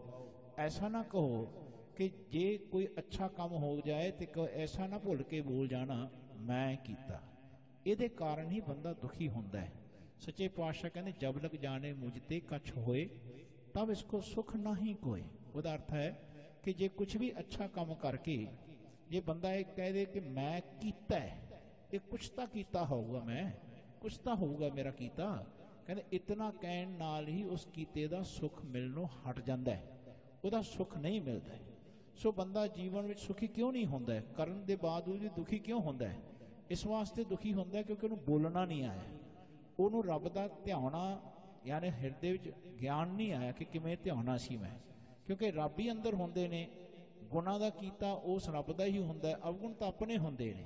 ਮਹਾਰਾਜ ਕਹਿੰਦੇ, ਸਾਚੇ ਸਾਹਿਬ, ਸਭ ਗੁਣ, ਔਗਣ ਸਭ ਅਸਾਹਾ ਜਿਤਨੇ ਔਗਣ ਨੇ ਆਪਣੇ ਨੇ, ਤੇ ਜਿਤਨਾ ਆਪਣੇ ਅੰਦਰ ਗੁਣ ਹੈ, ਇਹ ਰੱਬ ਦੇ ਨੇ। ਐਸੇ ਰੱਬ ਦੇ ਗੁਣ ਗਾਉਣੇ, ਤੇਰੇ ਕਵਨ ਕਵਨ ਗੁਣ ਕਹਿ ਕਹਿ ਗਾਵਾਂ, ਤੂੰ ਸਾਹਿਬ ਗੁਣੀ ਨਿਧਾਨ। ਜੀਵਨ ਵਿੱਚ ਆਏ ਆਪਣੇ ਅੰਦਰੋਂ ਰੱਬ ਬਾਹਰ ਆਉਂਦੇ ਨੇ ਤੇ ਆਪਾਂ ਅੰਦਰ ਮਿਟਦੇ ਆ। ਇਹ ਜੀਵਨ ਦੀ ਕਿਰਿਆ ਹੈ। ਸਿੱਖ ਨੇ ਜੀਵਨ ਵਿੱਚ ਮੂਵ ਕਰਦਿਆਂ ਹੋਇਆਂ ਆਪਣੇ ਅੰਦਰ ਰੱਬ ਦੇ ਗੁਣਾਂ ਨੂੰ ਗਾਉਂਦਿਆਂ ਹੋਇਆਂ ਮਿਟਣਾ, ਯਾਨੀ ਆਪਣੇ ਆਪ ਨੂੰ ਜਨਾਉਣਾ ਨਹੀਂ। ਜਦੋਂ ਗੁਣ ਬਾਹਰ ਆਉਂਦੇ ਹੋਣ, ਕਹੋ, ਮੇਰੇ ਮਾਲਕ, ਤੇਰੇ ਨੇ, ਤੈਂ ਕਰਾਇਆ, ਤਾਂ ਹੋਇਆ, ਨਹੀਂ ਤਾਂ ਮੈਂ ਨਹੀਂ ਕਰ ਸਕਦਾ ਸੀ। ਕਹਿੰਦੇ ਸਿੱਖ ਦੀ ਬੋਲੀ ਵਿੱਚ ਬਦ- ਬਦਲਾਹਟ ਆਉਂਦੀ ਹੈ। ਹਾਲੇ ਤਾਂ ਆਪਣੀ ਬੋਲੀ ਵਿੱਚ ਨਹੀਂ ਬਦਲਾਹਟ ਆ ਰਹੀ। ਆਪਣੀ ਬੋਲੀ ਤਾਂ ਮੈਂ ਮੈਂ ਤੋਂ ਨਹੀਂ ਪਰੇ ਹਟ ਰਹੀ, ਕਿਉਂਕਿ ਆਪਣੇ ਮਨ ਨੂੰ ਹਾਲੇ ਇਲਮ ਨਹੀਂ ਹੈ ਕਿ ਰੱਬ ਕਰਾ ਰਿਹਾ ਆਪਣੇ ਮਨ ਨੂੰ ਇਤਨਾ ਫਕਰ ਹੈ, ਰੱਬ ਦੇ ਕੀਤੇ ਨੂੰ ਆਪਣਾ ਕੀਤਾ ਕਹਿਣ ਵਿੱਚ, ਜਿਹਦੇ ਕਾਰਨ ਆਪਾਂ ਦੁਖੀ ਹੁੰਨੇ ਆ। ਜਿਹਨੂੰ ਮਹਾਰਾਜ ਤਾਈਓ ਕਹਿੰਦੇ ਨੇ, ਕੀਤਾ ਨਾ ਚਾਹਤਾ ਹਰਾਮ ਖੋਰ। ਰੱਬ ਦੇ ਕੀਤੇ ਨੂੰ ਜਾਣਿਆ ਨਹੀਂ, ਤੇ ਆਪਾਂ ਹਰਾਮ ਖੋਰ ਹੋ ਜਾਂਦੇ ਧਿਆਨ ਰੱਖਣਾ। ਸੋ ਇਹ ਸਾਰੀਆਂ ਗੱਲਾਂ ਬੜੀ ਪ੍ਰੈਕਟੀਕਲ ਲਿਵਿੰਗ ਦੀਆਂ ਨੇ। ਧਿਆਨ ਰੱਖਣਾ। ਸੇ ਕਦੇ ਵੀ ਚੰਗਾ ਕੰਮ ਕਰਕੇ ਨਹੀਂ ਕਹਿਣਾ, ਮੈਂ ਕੀਤਾ। ਇਹ ਮਹਾਰਾਜ ਦਾ ਸ਼ਬਦ ਹੈ। ਕਹਿੰਦੇ, ਜਬ ਲਗ ਜਾਣੇ ਮੁਝ ਤੇ ਕਛ ਹੋਏ, ਤਬ ਇਸਕੋ ਸੁਖ ਨਹੀਂ ਕੋਏ। ਜਬ ਇਹ ਜਾਣੇ, ਮੈਂ ਕਿਛ ਕਰਤਾ, ਤਬ ਲਗ ਗਰਭ ਜੋਣ ਮੈਂ ਫਿਰਦਾ। ਕਰਦੇ ਤਾਂ ਸਾਰੇ ਹੀ ਨੇ, ਪਰ ਕਰਕੇ ਜਿਹੜਾ ਬੰਦਾ ਕਹਿੰਦਾ, ਮੈਂ ਕੀਤਾ, ਉਹ ਫਿਰ ਜਨਮ ਮਰਨ ਦੇ ਚੱਕਰ 'ਚ ਪਿਆ ਰਹਿੰਦਾ ਉਹ ਦੁੱਖ ਭੋਗਦਾ ਰਹਿੰਦਾ ਉਹਨੂੰ ਉਹਦਾ ਕੀਤੇ ਦਾ ਸੁੱਖ ਨਹੀਂ ਲੱਭੇਗਾ। ਕਿਤਨਾ ਵੱਡਾ ਨੁਕਤਾ ਹੈ ਦੇਖੋ। ਜੇ ਜੀਵਨ ਦੇ ਵਿੱਚ ਕੀਤੇ ਨੂੰ ਰੱਬ ਦਾ ਕੀਤਾ ਕਹੇ ਕਿ ਸਭ ਕੁਝ ਕੀਤਾ ਤੇਰਾ ਹੋਵੇ, ਨਾ ਹੀ ਕੁਝ ਅਸਾੜਾ ਜੀਓ। ਇੱਕ ਤਾਂ ਰੱਬ ਦੀ ਬੰਦਗੀ ਹੁੰਦੀ ਹੈ, ਇੱਕ ਰੱਬ ਦੇ ਗੁਣ ਗਾ ਹੁੰਦੇ ਨੇ, ਦੂਜਾ ਰੱਬ ਵਿੱਚ ਸਮਾਇਆ ਜਾਂਦਾ ਹੈ, ਤੀਜਾ ਰੱਬ ਆਪਣੇ ਚੋਂ ਪ੍ਰਗਟ ਹੁੰਦੇ ਨੇ, ਚੌਥਾ ਆਪਾਂ ਰੱਬ ਦੇ ਵਿੱਚ ਜਿਉਂਦੇ ਮੁਕਤ ਹੋ ਜਾਈਦਾ ਹੈ। ਇਹ ਬਹੁਤ ਸੁੰਦਰ ਰਸਤਾ ਹੈ। ਇਸ ਰਾਸਤੇ ਨੂੰ ਸਮਝ ਕੇ ਬੰਦਗੀ ਕਰਨੀ। ਸੋ ਮਹਾਰਾਜ ਇੱਥੇ ਸਮਝਾ ਰਹੇ ਨੇ ਕਿ ਨਿਰਵਾਣ ਹੋ ਕੇ ਜੀਵਨ ਦੇ ਵਿੱਚ ਆਪਣੇ ਪ੍ਰਭੂ ਨੂੰ ਪ੍ਰਾਪਤ ਕਰਨਾ, ਯਾਨੀ ਜਦੋਂ ਬੋਲੋ, ਐਸਾ ਪ੍ਰਭੂ ਨੂੰ ਪ੍ਰਾਪਤ ਹੋਇਆ ਤਾਂ ਜਾਣੋ, ਜੇ ਬੋਲਦੇ ਹਾਂ ਤੁਹਾਡਾ ਮਨ ਹਾਮੀ ਭਰੇ, ਆਪਣਾ ਮਨ ਇਹ ਵਿਟਨੈਸ ਦੇਵੇ, ਆਪਣਾ ਮਨ ਕਹੇ ਕਿ ਮਾਲਕ ਇਹ ਤੈਂ ਬੁਲਾਇਆ, ਤਾਂ ਮੈਂ ਬੋਲਿਆ। ਜਿਵੇਂ ਮਹਾਰਾਜ ਦੀ ਬਾਣੀ ਕਹਿੰਦੀ ਹੈ ਤਾਂ ਮੈਂ ਕਿਹਾ, ਕਹਿਣ ਜਦ ਤੁਝੇ ਕਹਾਇਆ, ਤਾਂ ਮੈਂ ਬੋਲਿਆ ਕਿਉਂਕਿ ਤੈਂ ਬੁਲਾਇਆ। ਜਿਉ ਬੁਲਾਵੋ, ਤਿਉ ਨਾਨਕ ਦਾਸ ਬੋਲੇ। ਮਹਾਰਾਜ ਦੇ ਸ਼ਬਦਾਂ ਨੂੰ ਸੁਣਨ ਦਾ ਮਤਲਬ ਹੀ ਇਹ ਹੈ ਕਿ ਸਿੱਖ ਜਦੋਂ ਚੰਗੀ ਗੱਲ ਬੋਲੇ ਤੇ ਬੋਲੇ ਕਿ ਮਾਲਕ ਤੈਂ ਬੁਲਾਇਆ, ਤਾਂ ਮੈਂ ਬੋਲਿਆ। ਇਸ ਅਵਸਥਾ ਨਾਲ ਰੱਬ ਦੀ ਬੰਦਗੀ ਕਰਨੀ ਨਿਰਵਾਣ ਹੋਣਾ ਕਹਿੰਦੇ ਜਿਸ ਤੇ ਪ੍ਰਾਪਤ ਪ੍ਰਭ ਨਿਰਵਾਣੀ ਕਹਿੰਦੇ ਪ੍ਰਭ ਦੀ ਮਾਲਕ ਦਾ ਪਰਮੇਸ਼ਰ ਜੋ ਭੌਤਿਕ ਤੱਤ ਵਿੱਚ ਵਸਦਾ ਹੈ ਇਹ ਬਾਣੀ ਫਿਰ ਉਸ ਨਿਰਾਕਾਰ ਦੀ ਹੋ ਜਾਏ। ਸਰਦਾ ਜਾਣ ਗੁਰੂ ਬਚ ਭਾਖਾ। ਕਹਿੰਦੇ ਸ਼ਰਧਾ ਜਾਣ ਕੇ ਕਹਿੰਦੇ ਗੁਰੂ ਦੇ ਬਚਨਾਂ ਨੂੰ ਭਾਖਣਾ ਬੋਲਣਾ ਵਿਚਾਰਨਾ ਘਰ ਤਿਆਗਣ ਕੀ ਨਹਿ ਕਰ ਕਾਂਖਾ। ਕਹਿੰਦੇ ਘਰ ਤਿਆਗਣ ਦੀ ਰੱਤੀ ਮਾਤਰ ਵੀ ਮਨ ਵਿੱਚ ਖਿਆਲ ਨਹੀਂ ਕਰਨਾ। ਮਹਾਰਾਜ ਕਹਿੰਦੇ ਅੰਦਿਨ ਕੀਰਤਨ ਕੇਵਲ ਵਖਾਣ ਗ੍ਰਸਤ ਮੈਂ ਸੋਈ ਨਿਰਵਾਣ। ਕਹਿੰਦੇ ਜਿਹੜਾ ਰੋਜ਼ ਨਿਤਾ ਪ੍ਰਤੀ ਐਸੇ ਰੱਬ ਦੇ ਭਾਵ ਨੂੰ ਗਾਉਂਦਾ ਹੈ ਕਹਿੰਦੇ ਉਹ ਗ੍ਰਸਤ ਵਿੱਚ ਰਹਿੰਦਾ ਹੋਇਆ ਨਿਰਵਾਣ ਰਹਿੰਦਾ ਹੈ। ਜੇ ਘਰ ਤਜੇ ਮਿਲੇ ਭਗਵਾਨ। ਕਹਿੰਦੇ ਜੇ ਘਰ ਤਜਿਆਂ ਰੱਬ ਮਿਲਦਾ ਹੁੰਦਾ। ਕਿਉਂ ਫਕੀਰ ਪੁਰ ਪੁਰ ਮਹਿਆਨ? ਕਹਿੰਦੇ ਫੇਰ ਉਹ ਜਿਹੜਾ ਫਕੀਰ ਹੈ ਕਿਉਂ ਪਿੰਡਾਂ ਦੇ ਵਿੱਚ ਸ਼ਹਿਰਾਂ ਦੇ ਵਿੱਚ ਮੰਗਣ ਜਾਂਦਾ? ਕਹਿੰਦੇ ਹੋਏ ਅਤੀਤ ਗ੍ਰਸਤ ਅਜ ਫਿਰ ਉਹਨੂੰ ਕੇ ਘਰ ਮੰਗਣ ਜਾਈ? ਕਹਿੰਦੇ ਉਹਨਾਂ ਦੇ ਘਰ ਫਿਰ ਮੰਗਣ ਜਾਂਦਾ ਇਹ। ਕਹਿੰਦੇ ਫਿਰ ਕਾਹਦਾ ਇਹ ਗ੍ਰਸਤ ਇਹਨੇ ਤਜਿਆ? ਹਾਟਣ ਪਰ ਬਨ ਕਨ ਸੋ ਝਗਰੇ। ਕਹਿੰਦੇ ਫਿਰ ਹਾਠਾਂ ਤੇ ਜਾ ਕੇ ਦੁਕਾਨਾਂ ਤੇ ਵੀ ਜਾ ਕੇ ਕਹਿੰਦੇ ਉਹਨਾਂ ਨਾਲ ਝਗੜਾ ਕਰਦਾ ਇਹ। ਕਹਿੰਦੇ ਜਿਹੜੇ ਬਾਣੀਏ ਹੁੰਦੇ ਨੇ ਉਹਨਾਂ ਨਾਲ ਝਗੜਾ ਕਰਦਾ ਹੈ ਇਹ। ਜਾਚਤਾ ਡੋਲਤ ਬਾਸਰ ਸਗਰੇ। ਕਹਿੰਦੇ ਇਹ ਉੱਥੇ ਜਾ ਕੇ ਮੰਗਦਾ ਹੈ ਡੋਲਦਾ ਫਿਰਦਾ ਹੈ। ਕਹਿੰਦੇ ਸਾਰੇ ਘਰਾਂ ਦੇ ਵਿੱਚ ਜਾ ਕੇ। ਗੁਰਮੁਖ ਗ੍ਰਸਤ ਵਿਖੇ ਕਰ ਭਗਤਾ। ਕਹਿੰਦੇ ਜਿਹੜੇ ਗੁਰਮੁਖ ਹੁੰਦੇ ਨੇ ਗੁਰਮਸਤ ਗੁਰਮੁਖ ਗ੍ਰਸਤ ਵਿੱਚ ਰਹਿੰਦੇ ਹੀ ਉਦਾਸ ਹੁੰਦੇ ਨੇ। ਕਹਿੰਦੇ ਉਹ ਆਪਣੇ ਭਗਤੀ ਗ੍ਰਸਤ ਵਿੱਚ ਰਹਿੰਦਿਆਂ ਹੋਇਆਂ ਹੀ ਕਮਾਉਂਦੇ ਹਨ। ਆਏ ਮੁਕਤ ਨਹਿ ਜਨ ਮਤ ਜੁਗਤਾ। ਕਹਿੰਦੇ ਉਹ ਫਿਰ ਮੁਕਤੀ ਨੂੰ ਪ੍ਰਾਪਤ ਕਰਦੇ ਨੇ ਨਾ ਫਿਰ ਉਹ ਜਨਮਦੇ ਨੇ ਤੇ ਨਾ ਮਰਦੇ ਨੇ। ਜੀਵਨ ਦੇ ਵਿੱਚ ਇਹ ਬਹੁਤ ਵੱਡੀ ਜੁਗਤ ਹੈ। ਜਗਤ ਦੇ ਵਿੱਚ ਉਹਨਾਂ ਦਾ ਆਵਾਗਮਨ ਖਤਮ ਹੁੰਦਾ ਹੈ। ਇਹ ਗੱਲ ਯਾਦ ਰੱਖਣਾ ਜੀ।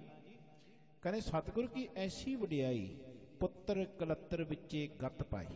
ਕਹਿੰਦੇ ਜਿਹੜਾ ਬੰਦਾ ਆਪਣਾ ਗ੍ਰਸਤ ਨੂੰ ਛੱਡ ਕੇ ਭੱਜਦਾ ਹੈ ਨਾ, ਕਹਿੰਦੇ ਉਹਨੂੰ ਹਾਲੇ ਸਿੱਖੀ ਹਾਲੇ ਸਮਝ ਨਹੀਂ ਆ ਰਹੀ। ਧਿਆਨ ਰੱਖਣਾ। ਗ੍ਰਸਤ ਵਿੱਚ ਰਹਿੰਦਿਆਂ ਹੋਇਆਂ ਭਗਤੀ ਕਮਾਉਣੀ।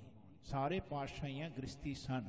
ਕੇਵਲ ਇੱਕ ਅੱਠਵੇਂ ਪਾਤਸ਼ਾਹ, ਕਿਉਂਕਿ ਉਹਨਾਂ ਦੀ ਉਮਰ ਬਹੁਤ ਛੋਟੀ ਸੀ 5 ਸਾਲ ਦੀ ਅਵਸਥਾ ਵਿੱਚ ਗੁਰਤਾ ਗੱਦੀ ਦੇ ਮਾਲਕ ਬਣੇ ਸਨ ਤੇ 8 ਸਾਲ ਦੀ ਅਵਸਥਾ ਦੇ ਵਿੱਚ ਆਪ ਜੀ ਸਰੀਰ ਤਿਆਗ ਗਏ ਸਨ। ਸੋ ਜਿਤਨੇ ਵੀ ਸਿੱਖ ਸਨ, ਜੋ ਗੁਰਤਾ ਗੱਦੀ ਦੇ ਮਹਾਰਾਜ ਕਹਿੰਦੇ ਭਾਈ ਲਾਇਕ ਹੋਏ, ਸਭ ਗ੍ਰਸਤੀ ਸਨ। ਸੋ ਅੱਜ ਸਾਡੇ ਐਸੇ ਲੋਕ ਨੇ, ਉਹ ਇਹ ਸਮਝਦੇ ਨੇ ਕਿ ਗ੍ਰਸਤ ਨਹੀਂ ਹੋਣਾ ਚਾਹੀਦਾ। ਜੀਵਨ ਦੇ ਵਿੱਚ ਫਿਰ ਜਿਤਨੇ ਵਿਕਾਰ ਇਹ ਕਰਦੇ ਨੇ, ਡੇਰਿਆਂ ਵਿੱਚ ਹੋਰ ਨਹੀਂ ਕੋਈ ਕਰਦਾ, ਯਾਦ ਰੱਖਣਾ ਜਿਤਨੇ ਤਕਲੀਫਾਂ ਇੱਥੇ ਸਹਿਹੀਆਂ ਜਾਂਦੀਆਂ ਨੇ, ਹੁੰਦੀਆਂ ਨੇ, ਹੋਰ ਨਹੀਂ ਕੋਈ ਸਹਿਦਾ ਕੋਈ ਵਿਰਲੇ ਹੀ ਨੇ, ਜਿਹੜਾ ਇਹਨਾਂ ਤੋਂ ਬਚਦੇ ਨੇ, ਬਹੁਤ ਵਿਰਲੇ ਨੇ, ਜਿਹੜੇ ਆਪਣੇ ਮਨ ਨੂੰ ਜੂਝਦੇ ਨੇ, ਜਿਹੜੇ ਚੰਗੀ ਤਰ੍ਹਾਂ ਜਿਵੇਂ ਸੰਤ ਬਾਬਾ ਭਿੰਡਰਾ ਸਿੰਘ, ਭਿੰਡਰਾ ਵਾਲੇ, ਹਨਾ?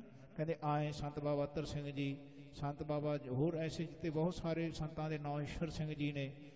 ਇਹ ਬਹੁਤ ਸਾਰੇ ਐਸੇ ਸਿੰਘ ਸਨ ਜਿਨ੍ਹਾਂ ਨੇ ਆਪਣੇ ਉੱਤੇ ਕਾਬੂ ਕੀਤਾ ਨਹੀਂ ਤਾਂ ਇਹ ਕਾਮ ਕਾਮ ਕ੍ਰੋਧ ਕਾਇਆ ਕੋ ਗਲ ਹੈ, ਜੋ ਕੰਚਨ ਸੁਹਾਗਾ ਢਾਲੈ ਇਸ ਦੇਹੀ ਅੰਦਰ ਪੰਜ ਚੋਰ ਵਸੈ, ਕਾਮ, ਕ੍ਰੋਧ, ਲੋਭ, ਮੋਹ ਹੰਕਾਰਾ, ਅੰਮ੍ਰਿਤ ਲੁੱਟੈ ਮਨ ਮੁਖ ਨਹੀਂ ਬੁੱਝੈ। ਕੋਈ ਨਾ ਸੁਣੈ ਪੁਕਾਰ। ਕਹਿੰਦੇ ਇਹਨਾਂ ਤੋਂ ਬਚਣਾ ਬਹੁਤ ਔਖਾ ਹੈ। ਸੋ ਮਹਾਰਾਜ ਨੇ ਸਾਨੂੰ ਗ੍ਰਸਤ ਵਿੱਚ ਰਹਿੰਦਿਆਂ ਹੋਇਆਂ ਕਹਿੰਦੇ ਭਾਈ ਰੱਬ ਦੀ ਬੰਦਗੀ ਸਿਖਾਈ ਹੈ। ਜਿਮ ਜਲ ਮਹਿ ਆਲੇਪ ਅਰਬਿੰਦ। ਕਹਿੰਦੇ ਜਿਵੇਂ ਜਲ ਦੇ ਵਿੱਚ ਕਮਲ ਫੁੱਲ ਹੁੰਦਾ ਹੈ ਉਹ ਪਾਣੀ ਦੇ ਲੇਪ ਤੋਂ ਕਹਿੰਦੇ ਨਿਰਲੇਪ ਰਹਿੰਦਾ ਹੈ ਪਾਣੀ ਦਾ ਲੇਪ ਉਹਦੇ ਪੱਤਿਆਂ ਨੂੰ ਨਹੀਂ ਲੱਗਦਾ ਉਹਦੇ ਉੱਪਰ ਉੱਠ ਕੇ ਕਹਿੰਦੇ ਕਮਲ ਫੁੱਲ ਖਿੜਦਾ ਹੈ। ਰਾਖੇ ਊਰਦ ਧਿਆਨ ਦਿਨਿੰਦ ਕਹਿੰਦੇ ਉਹ ਨਿਤਾ ਪ੍ਰਤੀ ਦਿਨ ਭਰ ਕਹਿੰਦੇ ਸੂਰਜ ਦਾ ਧਿਆਨ ਰੱਖਦਾ ਉਹਦੇ ਜਦੋਂ ਤੱਕ ਸੂਰਜ ਹੁੰਦਾ ਉਹ ਕਮ- ਕਮਲ ਫੁੱਲ ਖਿੜਿਆ ਰਹਿੰਦਾ ਹੈ। ਕਹਿੰਦੇ ਆਏ ਜਿਹੜਾ ਗੁਰਮੁਖ ਹੁੰਦਾ ਹੈ ਇਸ ਮਾਤ ਲੋਕ ਤੋਂ ਭਵ ਸਾਗਰ ਤੋਂ ਉੱਪਰ ਉੱਠ ਕੇ ਉਹਦੀ ਸੁਰਤ ਆਪਣੇ ਰੱਬ ਵੱਲ ਰੱਖਦਾ ਹੈ। ਜਿਮ ਗੁਰ ਸਿੱਖ ਕਰਤ ਕੋ ਕਰਤੇ। ਕਹਿੰਦੇ ਇਸ ਤਰ੍ਹਾਂ ਕਹਿੰਦੇ ਗੁਰਸਿੱਖ ਕਹਿੰਦੇ ਕਿਰਤ ਕਰਦਿਆਂ ਹੋਇਆਂ ਕਰਤੇ ਦੀ। ਏ ਕਰ ਸਤ ਸੰਗਤ ਪੁਨ ਵਰਤੇ। ਕਹਿੰਦੇ ਉਹ ਫਿਰ ਆਪ ਵੀ ਛਕਦੇ ਨੇ ਤੇ ਸੰਗਤ ਵਿੱਚ ਵੀ ਵਰਤਾਉਂਦੇ ਨੇ। ਹੋਏ ਫਕੀਰ ਜਾਚੇ ਜਬਕ ਜਾਏ। ਕਹਿੰਦੇ ਜਿਹੜੇ ਫਕੀਰ ਹੁੰਦੇ ਨੇ ਉਹ ਜਗਤ ਵਿੱਚ ਜਾ ਕੇ ਕਹਿੰਦੇ ਫਿਰ ਮੰਗਦੇ ਫਿਰਦੇ ਨੇ ਜਾਚਦੇ ਫਿਰਦੇ ਨੇ ਫਿਰ ਉਹਨਾਂ ਫਕੀਰਾਂ ਨੂੰ ਵੀ ਇਹ ਖਵਾਉਂਦੇ ਨੇ ਗ੍ਰਸਤ ਬੰਦੇ। ਜਬ ਤਬ ਨਿਜ ਘਾਟੋ ਤਬ ਪਾਏ। ਕਹਿੰਦੇ ਜਦੋਂ ਫਕੀਰ ਹੋ ਕੇ ਇਹਨਾਂ ਦੇ ਕੋਲ ਜਾ ਕੇ ਮੰਗਦਾ ਨਾ ਇਹਨਾਂ ਦਾ ਜਪ ਤਾਂ ਫਿਰ ਉਹ ਗ੍ਰਸਤੀ ਬੰਦੇ ਲੈ ਜਾਂਦੇ ਨੇ। ਧਿਆਨ ਰੱਖਣਾ। ਉਹ ਨਾਲੇ ਪ੍ਰਸ਼ਾਦਾ ਪਾਣੀ ਛਕਾਉਂਦੇ ਨੇ ਇਹਨਾਂ ਨੂੰ। ਕਹਿੰਦੇ ਉਹ ਉਹਨਾਂ ਦਾ ਜਪ ਤਪ ਇਹੀ ਲੈ ਜਾਂਦੇ ਨੇ। ਸੇਵਾ ਕਰਹਿ ਲਹਿ ਸੋ ਤਿਸ ਤੇ। ਕਹਿੰਦੇ ਉਹ ਸੇਵਾ ਕਰਕੇ ਉਹ ਤੋਂ ਫਿਰ ਸਾਰੀ ਤਾਕਤ ਖਿੱਚ ਲੈਂਦੇ ਨੇ ਉਹ ਜਿਹੜੇ ਗ੍ਰਸਤੀ ਬੰਦੇ ਹੁੰਦੇ ਨੇ ਜਿਹੜੇ ਜਪ ਤਪ ਕਾਰੇ ਜਿਨ੍ਹਾਂ ਨੇ ਵਿਆਹ ਨਹੀਂ ਨਾ ਕੀਤਾ ਹੁੰਦਾ ਗ੍ਰਸਤੀ ਨਹੀਂ ਗ੍ਰਸਤ ਤੋਂ ਪਰੇ ਰਹਿੰਦੇ ਨੇ ਉਹ ਫਿਰ ਇਹਨਾਂ ਤੋਂ ਰੋਟੀ ਮੰਗਣ ਜਾਂਦੇ ਨੇ ਇਹਨਾਂ ਕੋਲ ਜਾ ਕੇ ਖਾਂਦੇ ਨੇ। ਕਹਿੰਦੇ ਉਹ ਜਪ ਤਾਂ ਫਿਰ ਸੇਵਾ ਕਰਕੇ ਹੀ ਲੈ ਜਾਂਦੇ ਨੇ ਗ੍ਰਸਤੀ ਉਹਨਾਂ ਤੋਂ। ਖਾਨ ਪਾਨ ਨਿਤ ਕਰਤੋ ਜਿਸ ਤੇ। ਕਹਿੰਦੇ ਜੀ ਤੋਂ ਤੁਸੀਂ ਫਿਰ ਖਾਣ ਪਾਣ ਕਰਦੇ ਨਾ ਪ੍ਰਸ਼ਾਦਾ ਪਾਣੀ ਲੈਣੇ ਹੋ ਭੋਜਨ ਪਾਣੀ ਛਕਦੇ ਹੋ ਉਹਨਾਂ ਨੂੰ ਫਿਰ ਤੁਸੀਂ ਆਪਣੀ ਤਾਕਤ ਦੇ ਜਾਂਦੇ ਹੋ। ਗ੍ਰਸਤੀ ਆਪਣੋ ਪੁੰਨ ਨਾ ਦੇਤਾ। ਕਹਿੰਦੇ ਜਿਹੜਾ ਗ੍ਰਸਤੀ ਹੁੰਦਾ ਉਹਦਾ ਪੁੰਨ ਨਹੀਂ ਜਾਂਦਾ ਪੁੰਨ ਤਾਂ ਉਹਨਾਂ ਦਾ ਜਾਂਦਾ ਜਿਹੜਾ ਜਪ ਤਪ ਕਰਕੇ ਇਹਨਾਂ ਤੋਂ ਮੰਗਦੇ ਨੇ ਰੋਟੀਆਂ ਖਾਂਦੇ ਨੇ।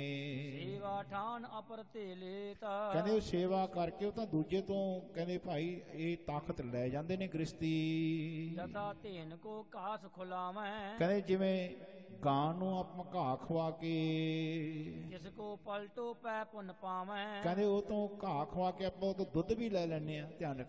ਆਏ ਆਪਾਂ ਇਹਨਾਂ ਨੂੰ ਰੋਟੀ ਖਵਾ ਕੇ ਇਹਨਾਂ ਤੋਂ ਪੁੰਨਦਾਨ ਇਹਨਾਂ ਦਾ ਜਿਹੜਾ ਹੁੰਦਾ ਨਾ ਜਿਹੜਾ ਇਹਨਾਂ ਦਾ ਜਪ ਤਪ ਹੁੰਦਾ ਉਹ ਵੀ ਗ੍ਰਸਤੀ ਲੈ ਜਾਂਦਾ ਹੈ। ਜਿਮ ਜੱਗਾ ਲਿਓ ਸਮਝ ਵਿਸਾਲ। ਕਹਿੰਦੇ ਐ ਜੱਗਾ ਜੀ ਇਹ ਸਮਝ ਲਓ ਤੁਸੀਂ ਇਸ ਗੱਲ ਨੂੰ। ਗ੍ਰਸਤ ਧਰਮ ਮੁਖ ਹੈ ਕਲ ਕਾਲ। ਕਹਿੰਦੇ ਕਲਯੁਗ ਦੇ ਵਿੱਚ ਗ੍ਰਸ ਸਭ ਨਾਲੋਂ ਉੱਚਾ ਹੈ। ਤਨ ਤੇ ਕ੍ਰਿਤ ਕਰੋ ਸੰਤ ਸੇਵਾ। ਕਹਿੰਦੇ ਤਨ ਦੇ ਨਾਲ ਕਿਰਤ ਕਰੋ ਤੇ ਫਿਰ ਜਿਹੜੇ ਵੀ ਰੱਬ ਨਾਲ ਜੁੜੇ ਹੋਏ ਨੇ ਉਹਨਾਂ ਦੀ ਸੇਵਾ ਕਮਾਓ। ਮਨ ਤੇ ਭਗਤ ਕਰੋ ਹਰ ਦੇਵਾ। ਕਹਿੰਦੇ ਮਨ ਦੇ ਨਾਲ ਰੱਬ ਦੀ ਭਗਤੀ ਕਰੋ ਤੇ ਹਰੇਕ ਵਿੱਚ ਰੱਬ ਨੂੰ ਦੇਵਾ ਜਾਣ ਕੇ ਹਰ ਹਰ ਦਾ ਅਰਥ ਹੈ ਹਰੇਕ ਵਿੱਚ ਰੱਬ ਨੂੰ ਜਾਣੋ। ਕਹਿੰਦੇ ਹਰੇਕ ਵਿੱਚ ਰੱਬ ਨੂੰ ਜਾਣ ਕੇ ਭਾਵੇਂ ਸੇਵਾ ਕਮਾਉਣੀ ਕਰੋ। ਇਸ ਤੇ ਸ਼ੀਗਰ ਲਹੈ ਕਲਿਆਣ। ਇਹਦੇ ਨਾਲ ਹੀ ਸ਼ੀਘਰ ਛੇਤੀ ਕਲਿਆਣ ਹੋਏਗੀ ਤੁਹਾਡੀ ਕਲਿਆਣਤਾ ਤੁਹਾਨੂੰ ਮਿਲੇਗੀ। ਤਜੋ ਨਾ ਸਦਨ ਠਾਨ ਗੁਰ ਧਿਆਨ। ਕਹਿੰਦੇ ਆਪਣਾ ਸਦਨ ਛੱਡੋ ਨਾ ਤੇ ਧਿਆਨ ਰੱਬ ਦੇ ਵਿੱਚ ਰੱਖੋ। ਮਹਾਰ ਮਹਾਰਾਜ ਕਹਿੰਦੇ ਘਰ ਬੈਠੇ ਗੁਰੂ ਤੇ ਆਵੇ ਧਿਆਵੋ। ਮਹਾਰਾਜ ਕਹਿੰਦੇ ਆਪਣੇ ਘਰ ਵਿੱਚ ਬੈਠੋ ਤੇ ਬਾਣੀ ਦੇ ਸ਼ਬਦ ਨੂੰ ਰੱਬ ਨੂੰ ਧਿਆਉਣਾ ਕਰੋ, ਭਾਈ ਘਰ ਨਾ ਛੱਡ ਕੇ ਕਿਤੇ ਬਾਹਰ ਚਲੇ ਜਾਇਓ। ਪਰ ਕਹਿੰਦੇ, ਬਾਹਰ ਮੂਲ ਨਾ ਖੋਜੀਏ, ਘਰ ਮਾਹੇ ਵਿਦਾਤਾ ਮਹਾਰਾਜ ਕਹਿੰਦੇ, ਹਰਮੰਦਰ ਇਹੋ ਸ਼ਰੀਰ ਹੈ, ਗਿਆਨ ਰਤਨ ਪ੍ਰਗਟ ਹੋਏ। ਸੋ ਇਹ ਘਰ ਬਹੁਤ ਹੀ ਉੱਚਾ ਤੇ ਬਹੁਤ ਹੀ ਸੱਚਾ ਤੇ ਜੀਵਨ ਦੇ ਵਿੱਚ ਸਹੀ ਰਾਸਤਾ ਮਹਾਰਾਜ ਨੇ ਦੱਸਿਆ ਕਿ ਭਾਈ ਘਰ-ਬਾਰ ਨਹੀਂ ਛੱਡਣਾ, ਕੰਮ ਕਾਰੋਬਾਰ ਨਹੀਂ ਛੱਡਣਾ, ਸਭ ਕਰਦਿਆਂ ਹੋਇਆਂ ਰੱਬ ਨੂੰ ਧਿਆਓ, ਹਾਥ ਪਾਉ ਕਰ ਕਾਮ ਸਭ ਚੀਤ ਨਿਰੰਜਨ ਨਾਲ। ਜਿਹੜਾ ਬੰਦਾ ਐਸਾ ਹੁੰਦਾ ਹੈ, ਦੂਜਿਆਂ ਦੀ ਵੀ ਹੈਲਪ ਕਰਦਾ ਹੈ, ਕਹਿੰਦੇ ਐਸੇ ਤੁਰਦੇ ਫਿਰਦੇ ਜੋਗੀਆਂ ਸੰਤਾਂ ਮਹਾਤਮਾ ਨੂੰ ਵੀ ਰੋਟੀ ਦਿੰਦਾ ਹੈ, ਆਪਣਾ ਦਸਵੰਧ ਦਿੰਦਾ ਹੈ, ਉਹ ਸਭ ਨਾਲੋਂ ਵੱਡਾ ਮਹਾਤਮਾ ਤੇ ਸਭ ਨਾਲੋਂ ਵੱਡਾ ਪਰਉਪਕਾਰੀ ਹੈ। ਯਾਦ ਰੱਖਣਾ ਐਸੀ ਕਿਰਿਆ ਗੁਰੂ ਮਹਾਰਾਜ ਨੇ ਇਸ ਦਰ ਦੇ ਵਿੱਚ ਸਾਨੂੰ ਦਰਸਾਈ ਹੈ। ਸੁਣ ਕਰ ਸੀਖ ਹਿਰਦੇ ਤਿਨ ਧਾਰੇ। ਕਹਿੰਦੇ ਸੁਣ ਕੇ ਸਿੱਖ ਕਹਿੰਦੇ ਆ ਜਿਹੜੀ ਸਿੱਖਿਆ ਸੀ ਜੱਗੇ ਨੇ ਹਿਰਦੇ ਵਿੱਚ ਧਾਰਨ ਕੀਤੀ ਹੈ। ਕਿਰਤ ਭਗਤ ਕਰਨੀ ਸੁਖਕਾਰੀ। ਕਹਿੰਦੇ ਕਿਰਤ ਕਰਦਿਆਂ ਹੋਇਆਂ ਭਗਤੀ ਕਰਨੀ ਕਹਿੰਦੇ ਇਹੀ ਸੁਖਕਾਰੀ ਹੈ ਇਹੀ ਸੁਖ ਦੀ ਕਿਰਿਆ ਹੈ। ਕਹਿੰਦੇ ਕਿਰਤ ਨਹੀਂ ਛੱਡਣੀ ਕਹਿੰਦੇ ਕਿਰਤ ਛੱਡ ਕੇ ਰੱਬ ਦਾ ਨਾਮ ਜਪਣ ਵਾਸਤੇ ਜੰਗਲਾਂ 'ਚ ਨਹੀਂ ਜਾਣਾ। ਮਹਾਰਾਜ ਕਹਿੰਦੇ ਰੱਬ ਦਾ ਧਿਆਨ ਗਿਆਨ ਦੇ ਉੱਤੇ ਟਿਕਿਆ ਹੋਇਆ ਕਬੀਰ ਜਹਾਂ ਗਿਆਨ ਤਹਿ ਧਰਮ ਹੈ। ਜਹਾਂ ਝੂਠ ਤਹਿ ਪਾਪ ਜਹਾਂ ਲੋਭ ਤਹਿ ਕਾਲ ਹੈ ਜਹਾਂ ਖਿਮਾ ਤਹਿ ਆਪ ਇਹ ਸਭ ਨਾਲੋਂ ਵੱਡੀ ਉੱਚੀ ਅਵਸਥਾ ਹੈ। ਮਾਨ ਭਲੋ ਤਬ ਕਰ ਬੇ ਲਾਗਾ ਕਹਿੰਦੇ ਜੀਵਨ ਵਿੱਚ ਮਾਣ ਜਿਹੜਾ ਕਰਦਾ ਹੈ ਕਹਿੰਦੇ ਐਸਾ ਸੇਵ ਕਰਨ ਤੋਂ ਬਾਅਦ ਕਹਿੰਦੇ ਉਹਨੂੰ ਮਾਣ ਤਬ ਮਿਲਦਾ ਹੈ ਜੀਵਨ ਦੇ ਵਿੱਚ ਜਦੋਂ ਰੱਬ ਦੀ ਐਸੀ ਆਏ ਹੋਏ ਲੋਕਾਂ ਦੀ ਕਿਰਤ ਕਰਦੇ ਹਨ ਸੇਵਾ ਕਰਦਾ। ਫਿਰ ਉਹ ਭਲੋ ਜੀਵਨ ਚੰਗਾ ਲੱਗਦਾ ਹੈ। ਗੁਰ ਕੀ ਸੇਵ ਲਗਿਓ ਵੱਡ ਭਾਗਾ। ਕਹਿੰਦੇ ਜਿਹੜਾ ਗੁਰੂ ਦੇ ਗੁਰ ਦੀ ਜੋ ਗੁਰੂ ਸਾਨੂੰ ਸਮਝਾਉਂਦੇ ਨੇ ਉਹਦੀ ਸੇਵ ਸੇਵ ਦਾ ਅਰਥ ਹੈ ਸੇਵਾ ਕਰਦੇ ਹਾਂ ਉਹਨੂੰ ਧਿਆਉਣਾ। ਸੇਵਾ ਤੇ ਸੇਵਨਾ ਇਹ ਦੋਨਾਂ ਦਾ ਅੰਤਰ ਰੱਖਣਾ ਹੈ। ਜਦੋਂ ਸੇਵਾ ਕਹਿੰਦੇ ਆ ਸੇਵਾ ਦਾ ਵੀ ਇੱਕ ਬਹੁਤ ਸੁੰਦਰ ਕਿਰਿਆ ਹੈ। ਕਹਿੰਦੇ ਆਪੇ ਸੇਵਾ ਲਾਏ ਨਾਪੇ ਬਖਸ਼ ਕਰੇ ਸਭਨਾ ਕਾ ਮਾਪਿਓ ਆਪ ਹੈ। ਆਪੇ ਸਾਰ ਕਰੇ। ਫਿਰ ਮਹਾਰਾਜ ਕਹਿੰਦੇ ਇੱਕ ਹੋਰ ਜਾ ਕੇ ਅੱਗੇ ਅਵਸਥਾ ਚ ਦੱਸਦੇ ਨੇ। ਕਹਿੰਦੇ, ਉਹ ਆਪਣੀ ਸੇਵਾ ਆਪ ਹੀ ਕਰਦਾ ਹੈ। ਕਹਿੰਦੇ, ਤੇਰੀ ਸੇਵਾ ਤੁਝ ਤੇ ਹੋਵੇ ਔਰ ਨਾ ਦੂਜਾ ਕਰਤਾ। ਕਹਿੰਦੇ, ਜੀਵਨ ਵਿੱਚ ਜਦੋਂ ਆਪਾਂ ਪਹਿਲਾਂ ਤਾਂ ਸਭ ਇੱਕ ਦੂਜੇ ਦੀ ਸੇਵਾ ਕਰਦੇ ਆਂ ਯਾਦ ਰੱਖੋ। ਮਾਤਾ ਪਿਤਾ ਬੱਚਿਆਂ ਦੀ ਸੇਵਾ ਕਰਦੇ ਨੇ, ਫਿਰ ਬੱਚੇ ਮਾਤਾ ਪਿਤਾ ਦੀ ਕਰਦੇ ਨੇ। ਕਹਿੰਦੇ, ਆਪਾਂ ਸਮਾਜ ਦੀ ਕਰਦੇ ਆਂ ਸਮਾਜ ਆਪਣੀ ਕਰਦਾ ਹੈ। ਹਰ ਇੱਕ ਬੰਦਾ ਇੱਕ ਦੂਜੇ ਦੀ ਸੇਵਾ ਵਿੱਚ ਲੱਗਿਆ ਹੋਇਆ ਜਿਹਨੂੰ ਸਰਵਿਸ ਵੀ ਕਹਿ ਦਿੰਦੇ ਨੇ ਅੰਗਰੇਜ਼ੀ ਵਿੱਚ, ਧਿਆਨ ਰੱਖਣਾ। ਕਹਿੰਦੇ ਹਰ ਕੋਈ ਬੰਦਾ ਇੱਕ ਦੂਜੇ ਦੀ ਸਰਵਿਸ ਵਿੱਚ ਲੱਗਿਆ ਹੋਇਆ ਹੈ। ਕਹਿੰਦੇ ਜਦੋਂ ਸੇਵਾ ਕਰਦੇ ਹੋਈਏ, ਬੰਦੇ ਨੂੰ ਆਪਣੇ ਵਿੱਚ ਰੱਬ ਦੇਖਣਾ ਚਾਹੀਦਾ ਹੈ, ਉਹ ਧਿਆਇਆ ਤੇ ਗਿਆਨ ਨਾਲ ਪਤਾ ਲੱਗਦਾ ਹੈ। ਤੇ ਜਦੋਂ ਫਿਰ ਬੰਦਾ ਧਿਆ ਕੇ ਗੁਰੂ ਮਹਾਰਾਜ ਜੀ ਦੇ ਗਿਆਨ ਅਨੁਸਾਰ ਆਪਣੇ ਅੰਦਰ ਰੱਬ ਦੇ ਨਾਲ ਕਰਮ ਕਮਾਉਂਦਾ ਹੈ, ਦੂਜੇ ਦੀ ਮਦਦ ਕਰਦਾ ਹੈ, ਉਹ ਕਰਕੇ ਫਿਰ ਭੁੱਲ ਕੇ ਨਹੀਂ ਕਹਿੰਦਾ ਮੈਂ ਕੀਤਾ ਹੈ, ਧਿਆਨ ਰੱਖਣਾ। ਉਹ ਕਹਿੰਦਾ ਸਭ ਕੁਝ ਕੀਤਾ ਤੇਰਾ ਹੋਵੇ ਨਾ ਹੀ ਕਿਛ ਅਸਾੜਾ ਜੀਓ। ਉਹ ਫਿਰ ਜਦ ਦੂਜੇ ਦੀ ਸੇਵਾ ਕਰਦਾ ਫਿਰ ਪਤਾ ਲੱਗਦਾ ਹੈ ਕਿ ਰੱਬ ਹੀ ਰੱਬ ਦੀ ਸੇਵਾ ਕਰ ਰਿਹਾ ਹੈ। ਜੱਗ ਵਿੱਚ ਰੱਬ ਹੀ ਵਸਦਾ ਹੈ। ਜਹ ਜਹ ਵੇਖੋ ਤਹ ਹਜੂਰ, ਦੂਰ ਕਤ ਹੋਣਾ ਜਾਈ। ਰਵ ਰਿਹਾ ਸਰਬਤਰ ਮੈਂ, ਮਨ ਸਦਾ ਤੇ ਆਈ ਫਿਰ ਪਤਾ ਲੱਗਦਾ ਹੈ ਕਿ ਉਹ ਆਪਣੀ ਸੇਵਾ ਆਪ ਹੀ ਕਰ ਰਿਹਾ ਮਹਾਰਾਜ ਕਹਿੰਦੇ, ਤੇਰੀ ਸੇਵਾ ਤੁਝ ਤੇ ਹੋਵੇ ਔਰ ਨਾ ਦੂਜਾ ਕਰਤਾ। ਦੂਜਾ ਤਾਂ ਉਹ ਆਪਾਂ ਨੂੰ ਦਿਖ ਰਿਹਾ ਹੈ ਕਿ ਬੰਦਾ ਕਰ ਰਿਹਾ, ਬੰਦਾ ਨਹੀਂ ਕਰ ਰਿਹਾ, ਰੱਬ ਕਰ ਰਿਹਾ ਰੱਬ ਕਰਾਉਂਦਾ ਹੈ ਤੇ ਬੰਦਾ ਫਿਰ ਕਹਿੰਦਾ ਕਿ ਮਾਰਕ ਤੈਂ ਕਰਾਇਆ। ਫਿਰ ਜਦੋਂ ਹੋਰ ਉੱਚੀ ਅਵਸਥਾ ਤੇ ਆਉਂਦਾ ਹੈ ਤੇ ਉਹ ਬੰਦਾ ਕਹਿੰਦਾ ਕਰਦਾ ਵੀ ਤੂੰ ਸੀ ਕਰਾਉਂਦਾ ਵੀ ਤੂੰ ਸੀ ਇੱਥੇ ਤੱਕ ਸਿੱਖ ਦੀ ਸੁਰਤ ਨੇ, ਬਿਰਤੀ ਨੇ ਟਿਕਣਾ ਹੈ। ਤਦ ਪਤਾ ਜਾ ਕੇ ਲੱਗਦਾ ਮੁੱਲ ਦਾ ਕਿ ਉਹ ਆਪਣੀ ਸੇਵਾ ਆਪ ਹੀ ਕਰ ਰਿਹਾ ਸੀ ਭਾਈ। ਆਪਾਂ ਕੁਝ ਵੀ ਨਹੀਂ ਸੀ। ਆਪਾਂ ਨੂੰ ਤਾਂ ਸਿਰਫ ਭੁਲੇਖਾ ਹੀ ਸੀ। ਸੋ ਮਹਾਰਾਜ ਕਹਿੰਦੇ ਐਸੀ ਅਵਸਥਾ ਗੁਰ ਸੇਵਾ ਨੂੰ ਜਿਹਨੇ ਪ੍ਰਾਪਤ ਕੀਤਾ ਹੈ ਕਹਿੰਦੇ ਗੁਰ ਨੂੰ ਸੇਵਦਿਆਂ ਹੋਇਆਂ ਜਿਹੜੇ ਜੀਵਨ ਸੇਵਾ ਕਮਾਉਂਦੇ ਨੇ ਉਹ ਵੱਡੇ ਭਾਗਾਂ ਵਾਲੇ ਹਨ ਜੀ। ਖਾਨੂ ਅਰਮਈਆ ਪਿਤ ਪੂਤ। ਕਹਿੰਦੇ ਹੁਣ ਹੋਰ 72 ਸਿੰਘਾਂ ਦੀ ਲੜੀ ਪੂਰੀ ਬਣਾਈ ਹੋਈ ਹੈ ਭਾਈ ਸੰਤੋਖ ਸਿੰਘ ਨੇ। ਹੁਣ ਅੱਗੇ ਖਾਨੂ ਅਤੇ ਮਾਈਆ ਇਹ ਪਿਤਾ ਤੇ ਪੁੱਤਰ ਨੇ। ਇਨੋ ਸਤਗੁਰ ਦਰਸ਼ਨ ਪੂਤ। ਇਹ ਸਤਿਗੁਰੂ ਸੱਚੇ ਪਾਤਸ਼ਾਹ ਜੀ ਦੇ ਦੋਨਾਂ ਨੇ ਜਾ ਕੇ ਦਰਸ਼ਨ ਕੀਤੇ ਨੇ ਮਾਂ ਪਿਤਾ ਤੇ ਬੱਚੇ ਨੇ। ਈਸਰ ਮਿਲ ਗੋਬਿੰਦ ਭੰਡਾਰੀ। ਇਹਨਾਂ ਦੇ ਨਾਲ ਤੀਜਾ ਬੰਦਾ ਵੀ ਇੱਕ ਗੋਬਿੰਦ ਭੰਡਾਰੀ ਉਹ ਵੀ ਰਲ ਗਿਆ ਹੈ। ਬਿਨੈ ਕੀ ਮਹਮ ਸ਼ਰਨ ਤੁਮਾਰੀ। ਕਹਿੰਦੇ ਇਹਨਾਂ ਨੇ ਮਹਾਰਾਜ ਨੂੰ ਨਮਸਕਾਰ ਕੀਤੀ ਤੇ ਕਿਹਾ ਮਹਾਰਾਜ ਅਸੀਂ ਤੁਹਾਡੀ ਸ਼ਰਨ ਵਿੱਚ ਆਏ ਹਾਂ। ਐਸੋ ਗੁਣ ਕੀਜੇ ਉਪਦੇਸ਼। ਮਹਾਰਾਜ ਐਸੇ ਗੁਣਾ ਦਾ ਉਪਦੇਸ਼ ਸਾਨੂੰ ਦੇਣਾ ਕਰੋ। ਜਿਸ ਮੈਂ ਗੁਣ ਹੋਏ ਭਲੇ ਅਸ਼ੇਸ਼। ਕਹਿੰਦੇ ਜਿਹਦੇ ਨਾਲ ਸਾਡੇ ਗੁਣ ਵਿਸ਼ੇਸ਼ ਅਸ਼ੇਸ਼ ਦਾ ਅਰਥ ਹੈ ਵਿਸ਼ੇਸ਼ ਬਣ ਜਾਣ। ਸੁਣ ਸਤਗੁਰ ਕਹਿ ਵਿੱਚ ਇਸ ਜਗਤ। ਕਹਿੰਦੇ ਮਹਾਰਾਜ ਕਹਿਣ ਲੱਗੇ ਇਸ ਜਗਤ ਦੇ ਵਿੱਚ। ਸਕਲ ਗੁਣਨ ਕੋ ਗੁਣ ਹਰ ਭਗਤ। ਕਹਿੰਦੇ ਸਾਰਿਆਂ ਗੁਣਾਂ ਨਾਲੋਂ ਰੱਬ ਦੀ ਭਗਤੀ ਸਭ ਨਾਲੋਂ ਵੱਡੀ ਕਹਿੰਦੇ ਇਹ ਗੁਣ ਹੈ। ਮਹਾਰਾਜ ਕਹਿੰਦੇ ਹਨ ਭਾਈ ਉਸ ਰੱਬ ਦੀ ਭਗਤੀ ਕਰਨੀ ਜਿਹੜਾ ਰੱਬ ਹਰੇਕ ਵਿੱਚ ਵਸਦਾ ਹੈ। ਜਿਵੇਂ ਤੁਸੀਂ ਘਰ ਵਿੱਚ ਵੀ ਵਸਦੇ ਹੋ ਤੇ ਉਸ ਰੱਬ ਦੀ ਬੰਦਗੀ ਆਪਾਂ ਹਰੇਕ ਵਿੱਚ ਵਸਦੇ ਦੀ ਛੱਡ ਨਹੀਂ ਦਿੱਤੀ। ਜਿਵੇਂ ਮਾਤਾ ਪਿਤਾ ਕੋਈ ਕੰਮ ਕਰਨ ਅਸੀਂ ਇਹ ਕਹਿਣੋ ਛੱਡ ਨਹੀਂ ਦਿੱਤਾ ਕਿ ਰੱਬ ਕਰਾ ਰਿਹਾ ਹੈ, ਰੱਬ ਦੀ ਕਿਰਪਾ ਹੋਈ ਹੈ, ਤਾਂ ਹੋਇਆ ਐਸਾ ਕਹਿਣਾ ਛੱਡਤਾ ਸੀ। ਐਸੀ ਭਗਤੀ ਕਰਨੀ ਛੱਡਤੀ। ਇਹ ਸਾਰੀਆਂ ਭਗਤੀਆਂ ਨਾਲ ਉੱਚੀ ਭਗਤੀ ਸੀ। ਮਹਾਰਾਜ ਕਹਿੰਦੇ, ਉਸ ਭਗਤੀ ਨੂੰ ਤਾਂ ਛੱਡਤੀ। ਹੋਰ ਬਾਕੀ ਪਖੰਡ ਵਿੱਚ ਜਾ ਕੇ ਰਲ ਗਏ ਸੀ ਮਹਾਰਾਜ ਕਹਿੰਦੇ, ਕਰਮ ਧਰਮ ਪਾਖੰਡ ਜੋ ਦਿਸੈ, ਤਿੰਨ ਜਮ ਜਾਗਾਤੀ ਲੂਟੈ। ਜੇ ਰੱਬ ਤੁਹਾਡੇ ਵਿੱਚ ਵਸਦਾ ਸੀ, ਜਿਸ ਵੇਲੇ ਤੁਹਾਡੇ ਤੋਂ ਕੰਮ ਹੁੰਦਾ ਸੀ, ਕਿਉਂ ਨਹੀਂ ਤੁਹਾਡੇ ਸਾਡੇ ਮਨ ਨੇ ਕਿਹਾ, ਮਾਰਕ ਤੈਂ ਕਰਾਇਆ? ਤੇਰਾ ਕੀਤਾ ਹੋਇਆ? ਕਿਉਂ ਐਸੀ ਭਗਤੀ ਨੂੰ ਛੱਡ ਗਿਆ ਮਨ ਸਾਡਾ? ਮਹਾਰਾਜ ਕਹਿੰਦੇ, ਸਭ ਗੁਣ ਤੇਰੇ, ਮੈਂ ਨਾਹੀ ਕੋਏ ਵਿਨ ਗੁਣ ਕੀਤੇ ਭਗਤ ਨਾ ਹੋਏ। ਕਹਿੰਦੇ, ਉਦੋਂ ਤੱਕ ਤਾਂ ਭਗਤੀ ਨਹੀਂ ਹੋਈ ਜਾਣੋ ਆਪਾਂ ਤੋਂ, ਜੇ ਆਪਾਂ ਨੇ ਰੱਬ ਦੇ ਕੀਤੇ ਨੂੰ ਰੱਬ ਦਾ ਕੀਤਾ ਨਾ ਕਿਹਾ। ਰੱਬ ਦੇ ਗੁਣਾਂ ਨੂੰ ਰੱਬ ਦੇ ਗੁਣ ਆਪਣੇ ਵਿੱਚੋਂ ਆ ਰਹੇ ਨੇ, ਕਰਕੇ ਨਾ ਆਪਾਂ ਨੇ ਜ਼ਿਕਰ ਕੀਤਾ।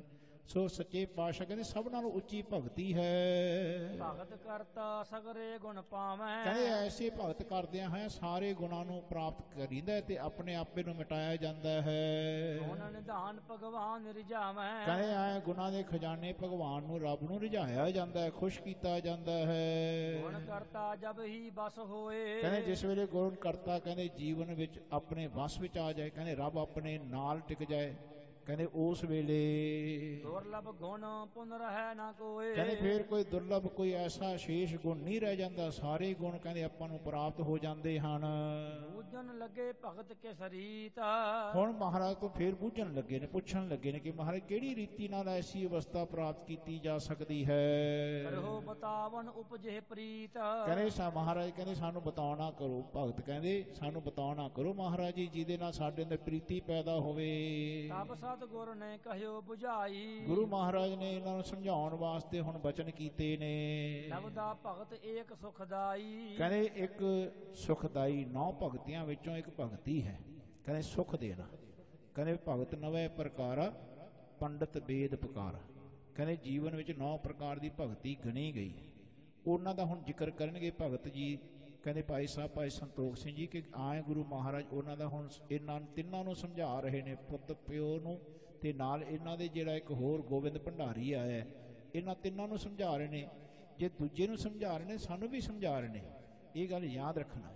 ਮਹਾਰਾਜ ਕਹਿੰਦੇ, ਪ੍ਰਥਾਏ ਸਾਖੀ ਮਹਾਪੁਰਖ ਬੋਲਦੇ, ਸਾਂਝੀ ਸਗਲ ਜਹਾਨ ਹੈ। ਜੇ ਕਿਸੇ ਵੀ ਪ੍ਰਥਾਏ ਕੋਈ ਸਾਖੀ ਮਹਾਰਾਜ ਸੁਣਾਉਂਦੇ ਨੇ, ਉਹ ਸਾਡੇ ਵਾਸਤੇ ਵੀ ਲਾਗੂ ਹੈ। ਆਓ ਹੁਣ ਸੁਣੀਏ ਸਭ ਨਾਲੋਂ ਵੱਡੀ ਭਗਤੀ ਮਹਾਰਾਜ ਕਹਿੰਦੇ ਸੁਖ ਸੁਖ ਦੇਣਾ। ਮਾਤਾ ਪਿਤਾ ਨੂੰ ਸੁਖ ਦੇਣਾ ਦੂਜੇ ਨੂੰ ਸੁਖ ਦੇਣਾ ਆਏ ਹੋਏ ਨੂੰ ਸੁਖ ਦੇਣਾ ਇਹ ਸਭ ਨਾਲੋਂ ਵੱਡੀ ਭਗਤੀ ਹੈ। ਦੂਜੇ ਪ੍ਰੇਮਾ ਭਗਤ ਵਿਚਾਰੀ। ਕਹਿੰਦੇ ਦੂਜੀ ਜਿਹੜੀ ਵਿਚਾਰ ਹੈ ਕਹਿੰਦੇ ਪ੍ਰੇਮਾ ਭਗਤੀ ਦੀ ਹੈ। ਕਹਿੰਦੇ ਸਭ ਨਾਲ ਪ੍ਰੇਮ ਕਰਨਾ ਨਫ਼ਰਤ ਨਹੀਂ ਕਰਨੀ ਕਿਸੇ ਨਾਲ। ਕਹਿੰਦੇ ਕਿਸੇ ਤੋਂ ਮੂੰਹ ਨਹੀਂ ਮੋੜਨਾ ਸਭ ਕੋ ਮੀਤ ਹਮ ਆਪਨ ਕੀਨਾ ਹਮ ਸਭਨਾ ਕੇ ਸਾਜਨ ਕਹਿੰਦੇ ਐਸੀ ਅਵਸਥਾ ਪ੍ਰੇਮਾ ਭਗਤੀ ਦੀ ਪ੍ਰਾਪਤ ਕਰਨੀ। ਕਹਿੰਦੇ ਨਾ ਕੋ ਬੈਰੀ ਨਹੀਂ ਬਿਗਾਨਾ। ਸਗਲ ਸੰਗ ਹਮਕੋ ਬਣਾਈ ਕਹਿੰਦੇ ਜਦੋਂ ਤੁਹਾਡੇ ਕੋਲ ਕੋਈ ਵੀ ਆ, ਜੇ ਤੁਹਾਡਾ ਦੁਸ਼- ਦੁਸ਼ਮਣ ਵੀ ਬੈਠਾ ਹੋਵੇ ਨਾ ਲੰਗਰ 'ਚ, ਉਹਨੂੰ ਵੀ ਜਾ ਕੇ ਤੁਸੀਂ ਪ੍ਰਸ਼ਾਦਾ ਪੁੱਛੋ, ਕਿਉਂਕਿ ਤੁਸੀਂ ਗੁਰੂ ਦੇ ਦਰ ਤੇ ਬੈਠੇ ਹੋ। ਇਸ ਦਰ ਤੇ ਤੁਹਾਡਾ ਦੁਸ਼ਮਣ ਵੀ ਆ ਸਕਦਾ ਹੈ। ਇਸ ਦਰ ਤੇ ਜਿਹਦੇ ਨਾਲ ਤੁਸੀਂ ਪਿਆਰ ਨਹੀਂ ਕਰਦੇ, ਉਹ ਵੀ ਆ ਸਕਦਾ ਹੈ। ਤੇ ਉਹਨੂੰ ਵੀ ਰੋਟੀ ਪੁੱਛਣੀ ਹੈ। ਜੇ ਨਹੀਂ ਪੁੱਛਣੀ, ਤੇ ਫਿਰ ਨਹੀਂ, ਉਹਦਾ ਉੱਥੇ ਸੇਵਾ ਕਰਨ ਯੋਗ ਨਹੀਂ ਬਣੇ ਆਪਾਂ। ਧਿਆਨ ਰੱਖਣਾ। ਸੋ ਇੱਥੇ ਪ੍ਰਸਾਦ ਵਰਤਾਉਂਦਿਆਂ ਹੋਇਆਂ ਵੀ ਜੇ ਤੁਹਾਨੂੰ ਲੱਗਦਾ ਨਾ ਕਿ ਮੇਰੇ ਨਾਲ ਕੱਲ ਲੜਿਆ ਸੀ ਇਹ, ਮੈਨੂੰ ਬੁਰਾ ਭਲਾ ਬੋਲ ਰਿਹਾ ਸੀ ਉਹਨੂੰ ਵੀ ਉਤਨਾ ਹੀ ਗੱਫਾ ਦੇਣਾ ਜਿਤਨਾ ਦੂਜੇ ਨੂੰ ਦਿੱਤਾ ਹੈ ਧਿਆਨ ਰੱਖਣਾ। ਮਨ 'ਚ ਨਫ਼ਰਤ ਨਹੀਂ ਕਰਨੀ।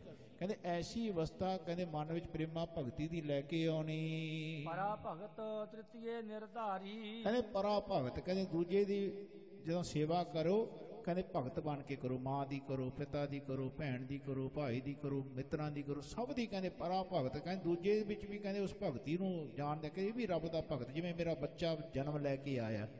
ਤੇ ਉਹ ਜਿਸ ਵੇਲੇ ਕੋਈ ਵੀ ਕਰਮ ਕਰਕੇ ਕਹਿੰਦਾ ਜੀ ਮੈਂ ਕੀਤਾ ਤੇ ਮੈਂ ਹੁਣ ਪਰਾ ਭਗਤ ਕਿਵੇਂ ਕਰਾਂ? ਮੈਂ ਐਂ ਕਰਾਂ ਕਿ ਬੇਟਾ, ਮੈਂ ਉਹਨੂੰ ਸਮਝਾਵਾਂ ਕਿ ਬੇਟਾ ਤੈਂ ਨਹੀਂ ਕੀਤਾ, ਇਹ ਰੱਬ ਨੇ ਕਰਾਇਆ। ਐਸੀ ਪਰਾ ਭਗਤੀ ਹੈ, ਧਿਆਨ ਰੱਖਣਾ।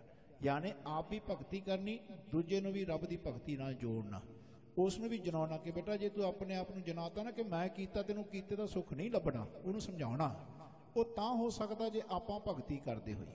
ਜੇ ਆਪਾਂ ਰੱਬ ਦੇ ਕੀਤੇ ਨੂੰ ਰੱਬ ਦਾ ਕੀਤਾ ਕਹਿ ਕੇ ਜਨਾਉਂਦੇ ਹੋਈਏ ਨਹੀਂ ਤਾਂ ਭਗਤ ਕਰੇ ਮੂਰਖ ਆਪ ਜਨਾਵੇ ਨੱਚ ਨੱਚ ਟੱਪੇ ਬਹੁਤ ਦੁੱਖ ਪਾਵੇ। ਕਹਿੰਦੇ ਇਹ ਹੁਣ ਪਰਾ ਭਗਤੀ ਵੀ ਨੌ ਭਗਤੀਆਂ ਵਿੱਚ ਇੱਕ ਭਗਤੀ ਹੈ। ਪ੍ਰਥਮ ਸੁਣ ਹੋ ਨਵਦਾ ਕੇ ਭੇਦ। ਕਹਿੰਦੇ ਹੁਣ ਇਹ ਨੌ ਭਗਤੀਆਂ ਦੇ ਭੇਦ ਸਰਵਣ ਕਰੋ। ਪ੍ਰਾਪਤ ਭਏ ਬਿਨਾ ਸਹਿ ਖੇਦ। ਕਹਿੰਦੇ ਜੀਵਨ ਵਿੱਚ ਜਿਸ ਵੇਲੇ ਆ ਨੌਦਾ ਭਗਤੀ ਇਹ ਭਗਤੀਆਂ ਜੋ ਦੱਸ ਰਹੇ ਨੇ ਕਿਤੇ ਪ੍ਰਾਪਤ ਹੋ ਜਾਏ ਕਹਿੰਦੇ ਸਾਰੀ ਖੇਦ ਸਾਰੀ ਤਕਲੀਫਾਂ ਸਾਰੇ ਦੁੱਖ ਸਾਰੇ ਵਿਗਨ ਖਤਮ ਹੋ ਜਾਂਦੇ ਹਨ। ਸ਼ਰਦਾ ਸਹਤ ਗੁਰੂ ਕੇ ਬੈਨ ਕਹਿੰਦੇ ਸ਼ਰਧਾ ਸਹਿਤ ਗੁਰੂ ਜੀ ਨੇ ਜੋ ਬਚਨ ਕੀਤੇ। ਸ਼ਰਵਣ ਕਰੇ ਸਨਮੁਖ ਮਨ ਨੈਣ। ਕਹਿੰਦੇ ਸਰਵਨ ਕੀਤੇ ਕਹਿੰਦੇ ਸਨਮੁਖ ਹੋ ਕੇ ਆਪਣੇ ਮਨ ਅਤੇ ਨੈਣ ਨਾਲ। ਕਹਿੰਦੇ ਮਨਾਂ ਮਨ ਦੇ ਨਾਲ ਵਿਚਾਰਨਾ ਤੇ ਮਨ ਦੀਆਂ ਅੱਖਾਂ ਨਾਲ ਦੇਖਣਾ। ਮਹਾਰਾਜ ਕਹਿੰਦੇ ਇਹ ਇੱਕ ਤਾਂ ਹੁੰਦਾ ਨਾ ਇਹ ਅੱਖਾਂ ਨਾਲ ਦੇਖਣਾ ਇੱਕ ਮਨ ਦੀ ਅੱਖਾਂ ਨਾਲ ਦੇਖਣਾ। ਕਹਿੰਦੇ ਇਹ ਆਪਣਾ ਮਨ ਰੱਬ ਨੂੰ ਆ ਜਿਹੜੀਆਂ ਦਿੱਤੀਆਂ ਹੋਈਆਂ ਅੱਖਾਂ ਇਹਦੇ ਨਾਲ ਨਹੀਂ ਦੇਖ ਸਕਦਾ। ਕਹਿੰਦੇ ਜਿਹੜਾ ਮਨ ਦੀ ਅੱਖ ਨਾਲ ਦੇਖਦਾ ਤਾਂ ਰੱਬ ਦੀਂਦਾ ਹੈ। ਕਹਿੰਦੇ ਇੰਨੀ ਅੱਖੀ ਨਜ਼ਰ ਨਾ ਆਵੇ, ਜਿੱਚਰ ਸ਼ਬਦ ਨਾ ਕਰੇ ਵਿਚਾਰ। ਧਿਆਨ ਰੱਖਣਾ। ਇਹ ਅੱਖਾਂ ਨਾਲ ਰਾਏ ਰੱਬ ਨਹੀਂ ਨਜ਼ਰ ਆਉਂਦਾ ਹੈ। ਤੇ ਜਦੋਂ ਸ਼ਬਦ ਦੀ ਵਿਚਾਰ ਕਰਦੇ ਫਿਰ ਮਨ ਦੀ ਅੱਖ ਨਾਲ ਨਜ਼ਰ ਆਉਂਦਾ ਧਿਆਨ ਰੱਖ। ਅੰਧੇ ਇਹ ਅੱਖੀਆਂ ਜਿਨ ਮੁਖ ਲੋਇਨ ਨਾਹੇ। ਕਹਿੰਦੇ ਅੰਧੇ ਸਹੀ ਨਾਨਕਾ ਖਸਮੋਂ ਉੱਥੇ ਜਾਏ। ਕਹਿੰਦੇ ਉਹਨੂੰ ਅੰਧੇ ਨਹੀਂ ਕਹਿੰਦੇ ਜਿਨ੍ਹਾਂ ਦੇ ਕਹਿੰਦੇ ਅੱਖਾਂ ਨਹੀਂ ਹੁੰਦੀਆਂ। ਅੰਨਾ ਉਹਨੂੰ ਕਹਿੰਦੇ ਨੇ ਜਿਹਦੀਆਂ ਅੱਖਾਂ ਹੁੰਦਿਆਂ ਹੈ ਵੀ ਮਨ ਕਰਕੇ ਰੱਬ ਨੂੰ ਦੇਖ ਨਾ ਸਕੇ। ਮਨ ਦੇ ਨਾਲ ਕਹਿੰਦੇ ਆਪਣੇ ਖਸਮ ਨਾਲ ਹੀ ਬੈਰ ਵਿਰੋਧ ਕਰ ਬੈਠੇ ਉਹਦੇ ਨਾਲ ਹੀ ਝਗੜਾ ਕਰਦੇ। ਕਹਿੰਦੇ ਉਹ ਅੰਨਾ ਹੁੰਦਾ ਸੋ ਸਤਿਗੁਰ ਸੱਚੇ ਪਾਤਸ਼ਾਹ ਕਹਿੰਦੇ ਭਾਈ ਆਏ ਸਨਮੁਖ ਹੋ ਕੇ ਮਨ ਤੇ ਨੈਣ ਨਾਲ ਕਹਿੰਦੇ ਸਰਵਣ ਕਰਨਾ ਕਰੋ। ਦੁਤੀਏ ਕਥਾ ਕੀਰਤਨ ਕਰਨੇ। ਕਹਿੰਦੇ ਹੁਣ ਇਹ ਦੂਸਰੀ ਕਹਿੰਦੇ ਭਗਤੀ ਹੈ ਕੀਰਤਨ ਕਰਨਾ। ਕੀਰਤਨ ਦਾ ਅਰਥ ਸਮਝਣਾ ਜੀ, ਕੇਵਲ ਬਾਜਾ ਢੋਲਕੀ ਨਾਲ ਨਹੀਂ। ਕੀਰਤਨ ਦਾ ਅਰਥ ਸਮਝਿਓ, ਕਿਰਤ ਕਰਦਿਆਂ ਹੋਇਆਂ ਕੀਰਤ ਗਾਉਣੀ ਜਦੋਂ ਤੱਕ ਤਨ ਇਸ ਧਰਤੀ ਤੇ ਹੈ। ਯਾਦ ਰੱਖ ਜਦੋਂ ਤੱਕ ਆਪਾਂ ਤਨ ਨਹੀਂ ਨਾ ਛੱਡਦੇ, ਉਦੋਂ ਤੱਕ ਕਿਰਤ ਕਰਦਿਆਂ ਹੋਇਆਂ ਕੀਰਤ ਕਮਾਉਣੀ। ਆ ਜਿਹੜਾ ਹੁਣ ਇੱਥੇ ਬਾਜਾ ਢੋਲਕੀ ਲੈ ਕੇ ਕੀਰਤਨ ਕਰਦੇ ਨੇ, ਇਹ ਵੀ ਇੱਕ ਕਿਰਤ ਹੈ ਇਹਨਾਂ ਦੀ। ਧਿਆਨ ਰੱਖ ਪਹਿਲਾਂ ਇਹ ਰਾਗ ਸਿੱਖਦੇ ਨੇ, ਫਿਰ ਉਸ ਤੋਂ ਬਾਅਦ ਆਪਣਾ ਟਾਈਮ ਲਾਉਂਦੇ ਨੇ, ਫਿਰ ਕੀਰਤਨ ਕਰਦਿਆਂ ਹੋਇਆਂ ਇਹ ਕਿਰਤ ਵੀ ਕਮਾਉਂਦੇ ਨੇ। ਯਾਨੀ ਰੱਬ ਦਾ ਜਸ ਗਾਉਂਦੇ ਨੇ। ਜੇ ਰੱਬ ਦਾ ਜਸ ਗਾਉਂਦਿਆਂ ਹੈ ਕਿਤੇ ਪੈਸੇ ਪਿੱਛੇ ਹੀ ਕਰਨ, ਇਹ ਵੀ ਦੁਖੀ ਹੋ ਜਾਣ। ਧਿਆਨ ਇਹਨਾਂ ਨੂੰ ਵੀ ਤਕਲੀਫ ਸਹਿਣੀ ਪਵੇ। ਸੋ ਜਿਹੜਾ ਵੀ ਸਿੱਖ ਕੀਰਤਨ ਵੀ ਕਰੇ ਨਾ, ਬਾਜਾ ਢੋਲਕੀ ਤੇ, ਕਹਿੰਦੇ ਇਹ ਜੀਵਨ ਦੇ ਵਿੱਚ, ਰੱਬ ਦੇ ਵਿੱਚ ਰਤ ਕੇ ਰੱਬ ਦੇ ਗੁਣ ਗਾਵੇ। ਪੈਸੇ ਤਾਂ ਭੱਜੇ ਫਿਰਦੇ ਨੇ, ਪੈਸੇ ਦਾ ਚਿੰਤਾ ਨਹੀਂ ਕਰਨੀ ਹੈ। ਕਹਿੰਦੇ ਮਾਇਆ ਪਿੱਛੇ ਨਹੀਂ ਕੀਰਤਨ ਕਰਨਾ। ਮਾਇਆ ਕਾਰਨ ਵਿਦਿਆ ਵਿੱਚ ਹੈ ਜਨਮ ਅਬਿਰਥਾ ਜਾਏ। ਕਹਿੰਦੇ ਮਾਇਆ ਪਿੱਛੇ ਨਹੀਂ ਇਹ ਕੰਮ ਕਰਨਾ। ਕਹਿੰਦੇ ਤੁਸੀਂ ਕੀਰਤਨ ਕਰੋ ਯਾਨੀ ਕਿਰਤ ਕਰੋ, ਬੇਸ਼ੱਕ ਰੱਬ ਦੇ ਵਿੱਚ ਰੱਤ ਕੇ ਕਰੋ।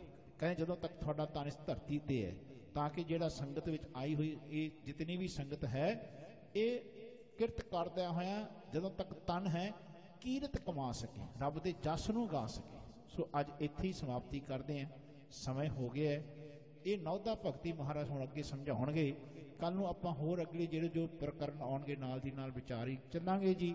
ਆਓ ਇਸ ਸ਼ਬਦ ਨੂੰ ਪੜ੍ਹ ਕੇ ਇੱਥੇ ਸਮਾਪਤੀ ਕਰੀਏ ਸਰਦਾ ਸਹਤ ਗੁਰੂ ਕੇ ਬੈਨ ਸ਼ਰਵਣ ਕਰਹਿ ਸਨਮੁਖ ਮਨ ਨੈਣ ਵਾਹਿਗੁਰੂ ਜੀ ਕਾ ਖਾਲਸਾ ਵਾਹਿਗੁਰੂ ਜੀ ਕੀ ਫਤਿਹ ਅਚੁੱਤ ਹੈ ਪਾਰ ਬ੍ਰਹਮ ਅਬਨਾਸੀ ਅਗਨਾਸ हे ਪੂਰਨ ਹੈ ਸਰਬ ਮੈਂ ਦੁਖ ਭੰਜਨ ਗੁਣਤਾਸ हे ਸੰਗੀ ਹੈ ਨਿਰੰਕਾਰ हे ਨਿਰਗੁਣ ਸਭ ਟੇਕ ਹੇ ਗੋਬਿੰਦ, ਹੇ ਗੁਣ ਨਿਧਾਨ, ਜਾ ਕੈ ਸਦਾ ਵਿਵੇਕ। ਹੇ ਅਪਰੰਪਰ ਹਰ ਹਰੇ, ਹੈ ਪੀ ਹੋਵਨ ਹਾਰ। ਹੇ ਸੰਤਾਂ, ਕੈ ਸਦਾ ਸੰਗ ਨਿਧਾਰਾਧਾ ਹੇ ਠਾਕੁਰ ਹਉ ਦਾਸਰੋ ਮੈਂ ਨਿਰਗੁਣ ਗੁਣ ਨਹੀਂ ਕੋਏ। ਨਾਨਕ ਦੀਜੈ ਨਾਮ ਦਾਨ, ਰਾਖੋ ਹੈ ਪਰੋਏ। ਆਏ ਪ੍ਰਭ ਸ਼ਰਨਾਗਤੀ ਕਿਰਪਾ ਨਿਦ ਦਿਆ। ਏਕ ਅਖਰ ਹਰ ਮਨ ਵਸਤ, ਨਾਨਕ ਹੋਤ ਨਿਹਾ। ਵਾਹਿਗੁਰੂ ਨਾਮ ਜਹਾਜ ਹੈ, ਚੜੇ ਸੋ ਤੇਰੇ ਪਾਰ। ਜੋ ਸ਼ਰਧਾ ਕਰ ਸੇਵੰਦੇ, ਗੁਰ ਪਾਰ ਉਤਾਰਨਹਾ ਕਥਾ ਨਿਤਾ ਪ੍ਰਤ ਹੋਤ ਹੈ, ਸੁਣੋ ਸੁ ਸਿੰਘ ਸੁਜਾਨ। ਨਾਨਕ ਗੁਰੂ ਗੋਬਿੰਦ ਸਿੰਘ ਜੀ ਸਦਾ ਕਰੇ ਕਲਿਆਣ। ਨਾਨਕ ਗੁਰੂ ਗੋਬਿੰਦ ਸਿੰਘ ਜੀ ਸਦਾ ਕਰੇ ਕਲਿਆਣ। ਵਾਹਿਗੁਰੂ ਜੀ ਕਾ ਖਾਲਸਾ, ਵਾਹਿਗੁਰੂ ਜੀ ਕੀ ਫਤਿਹ।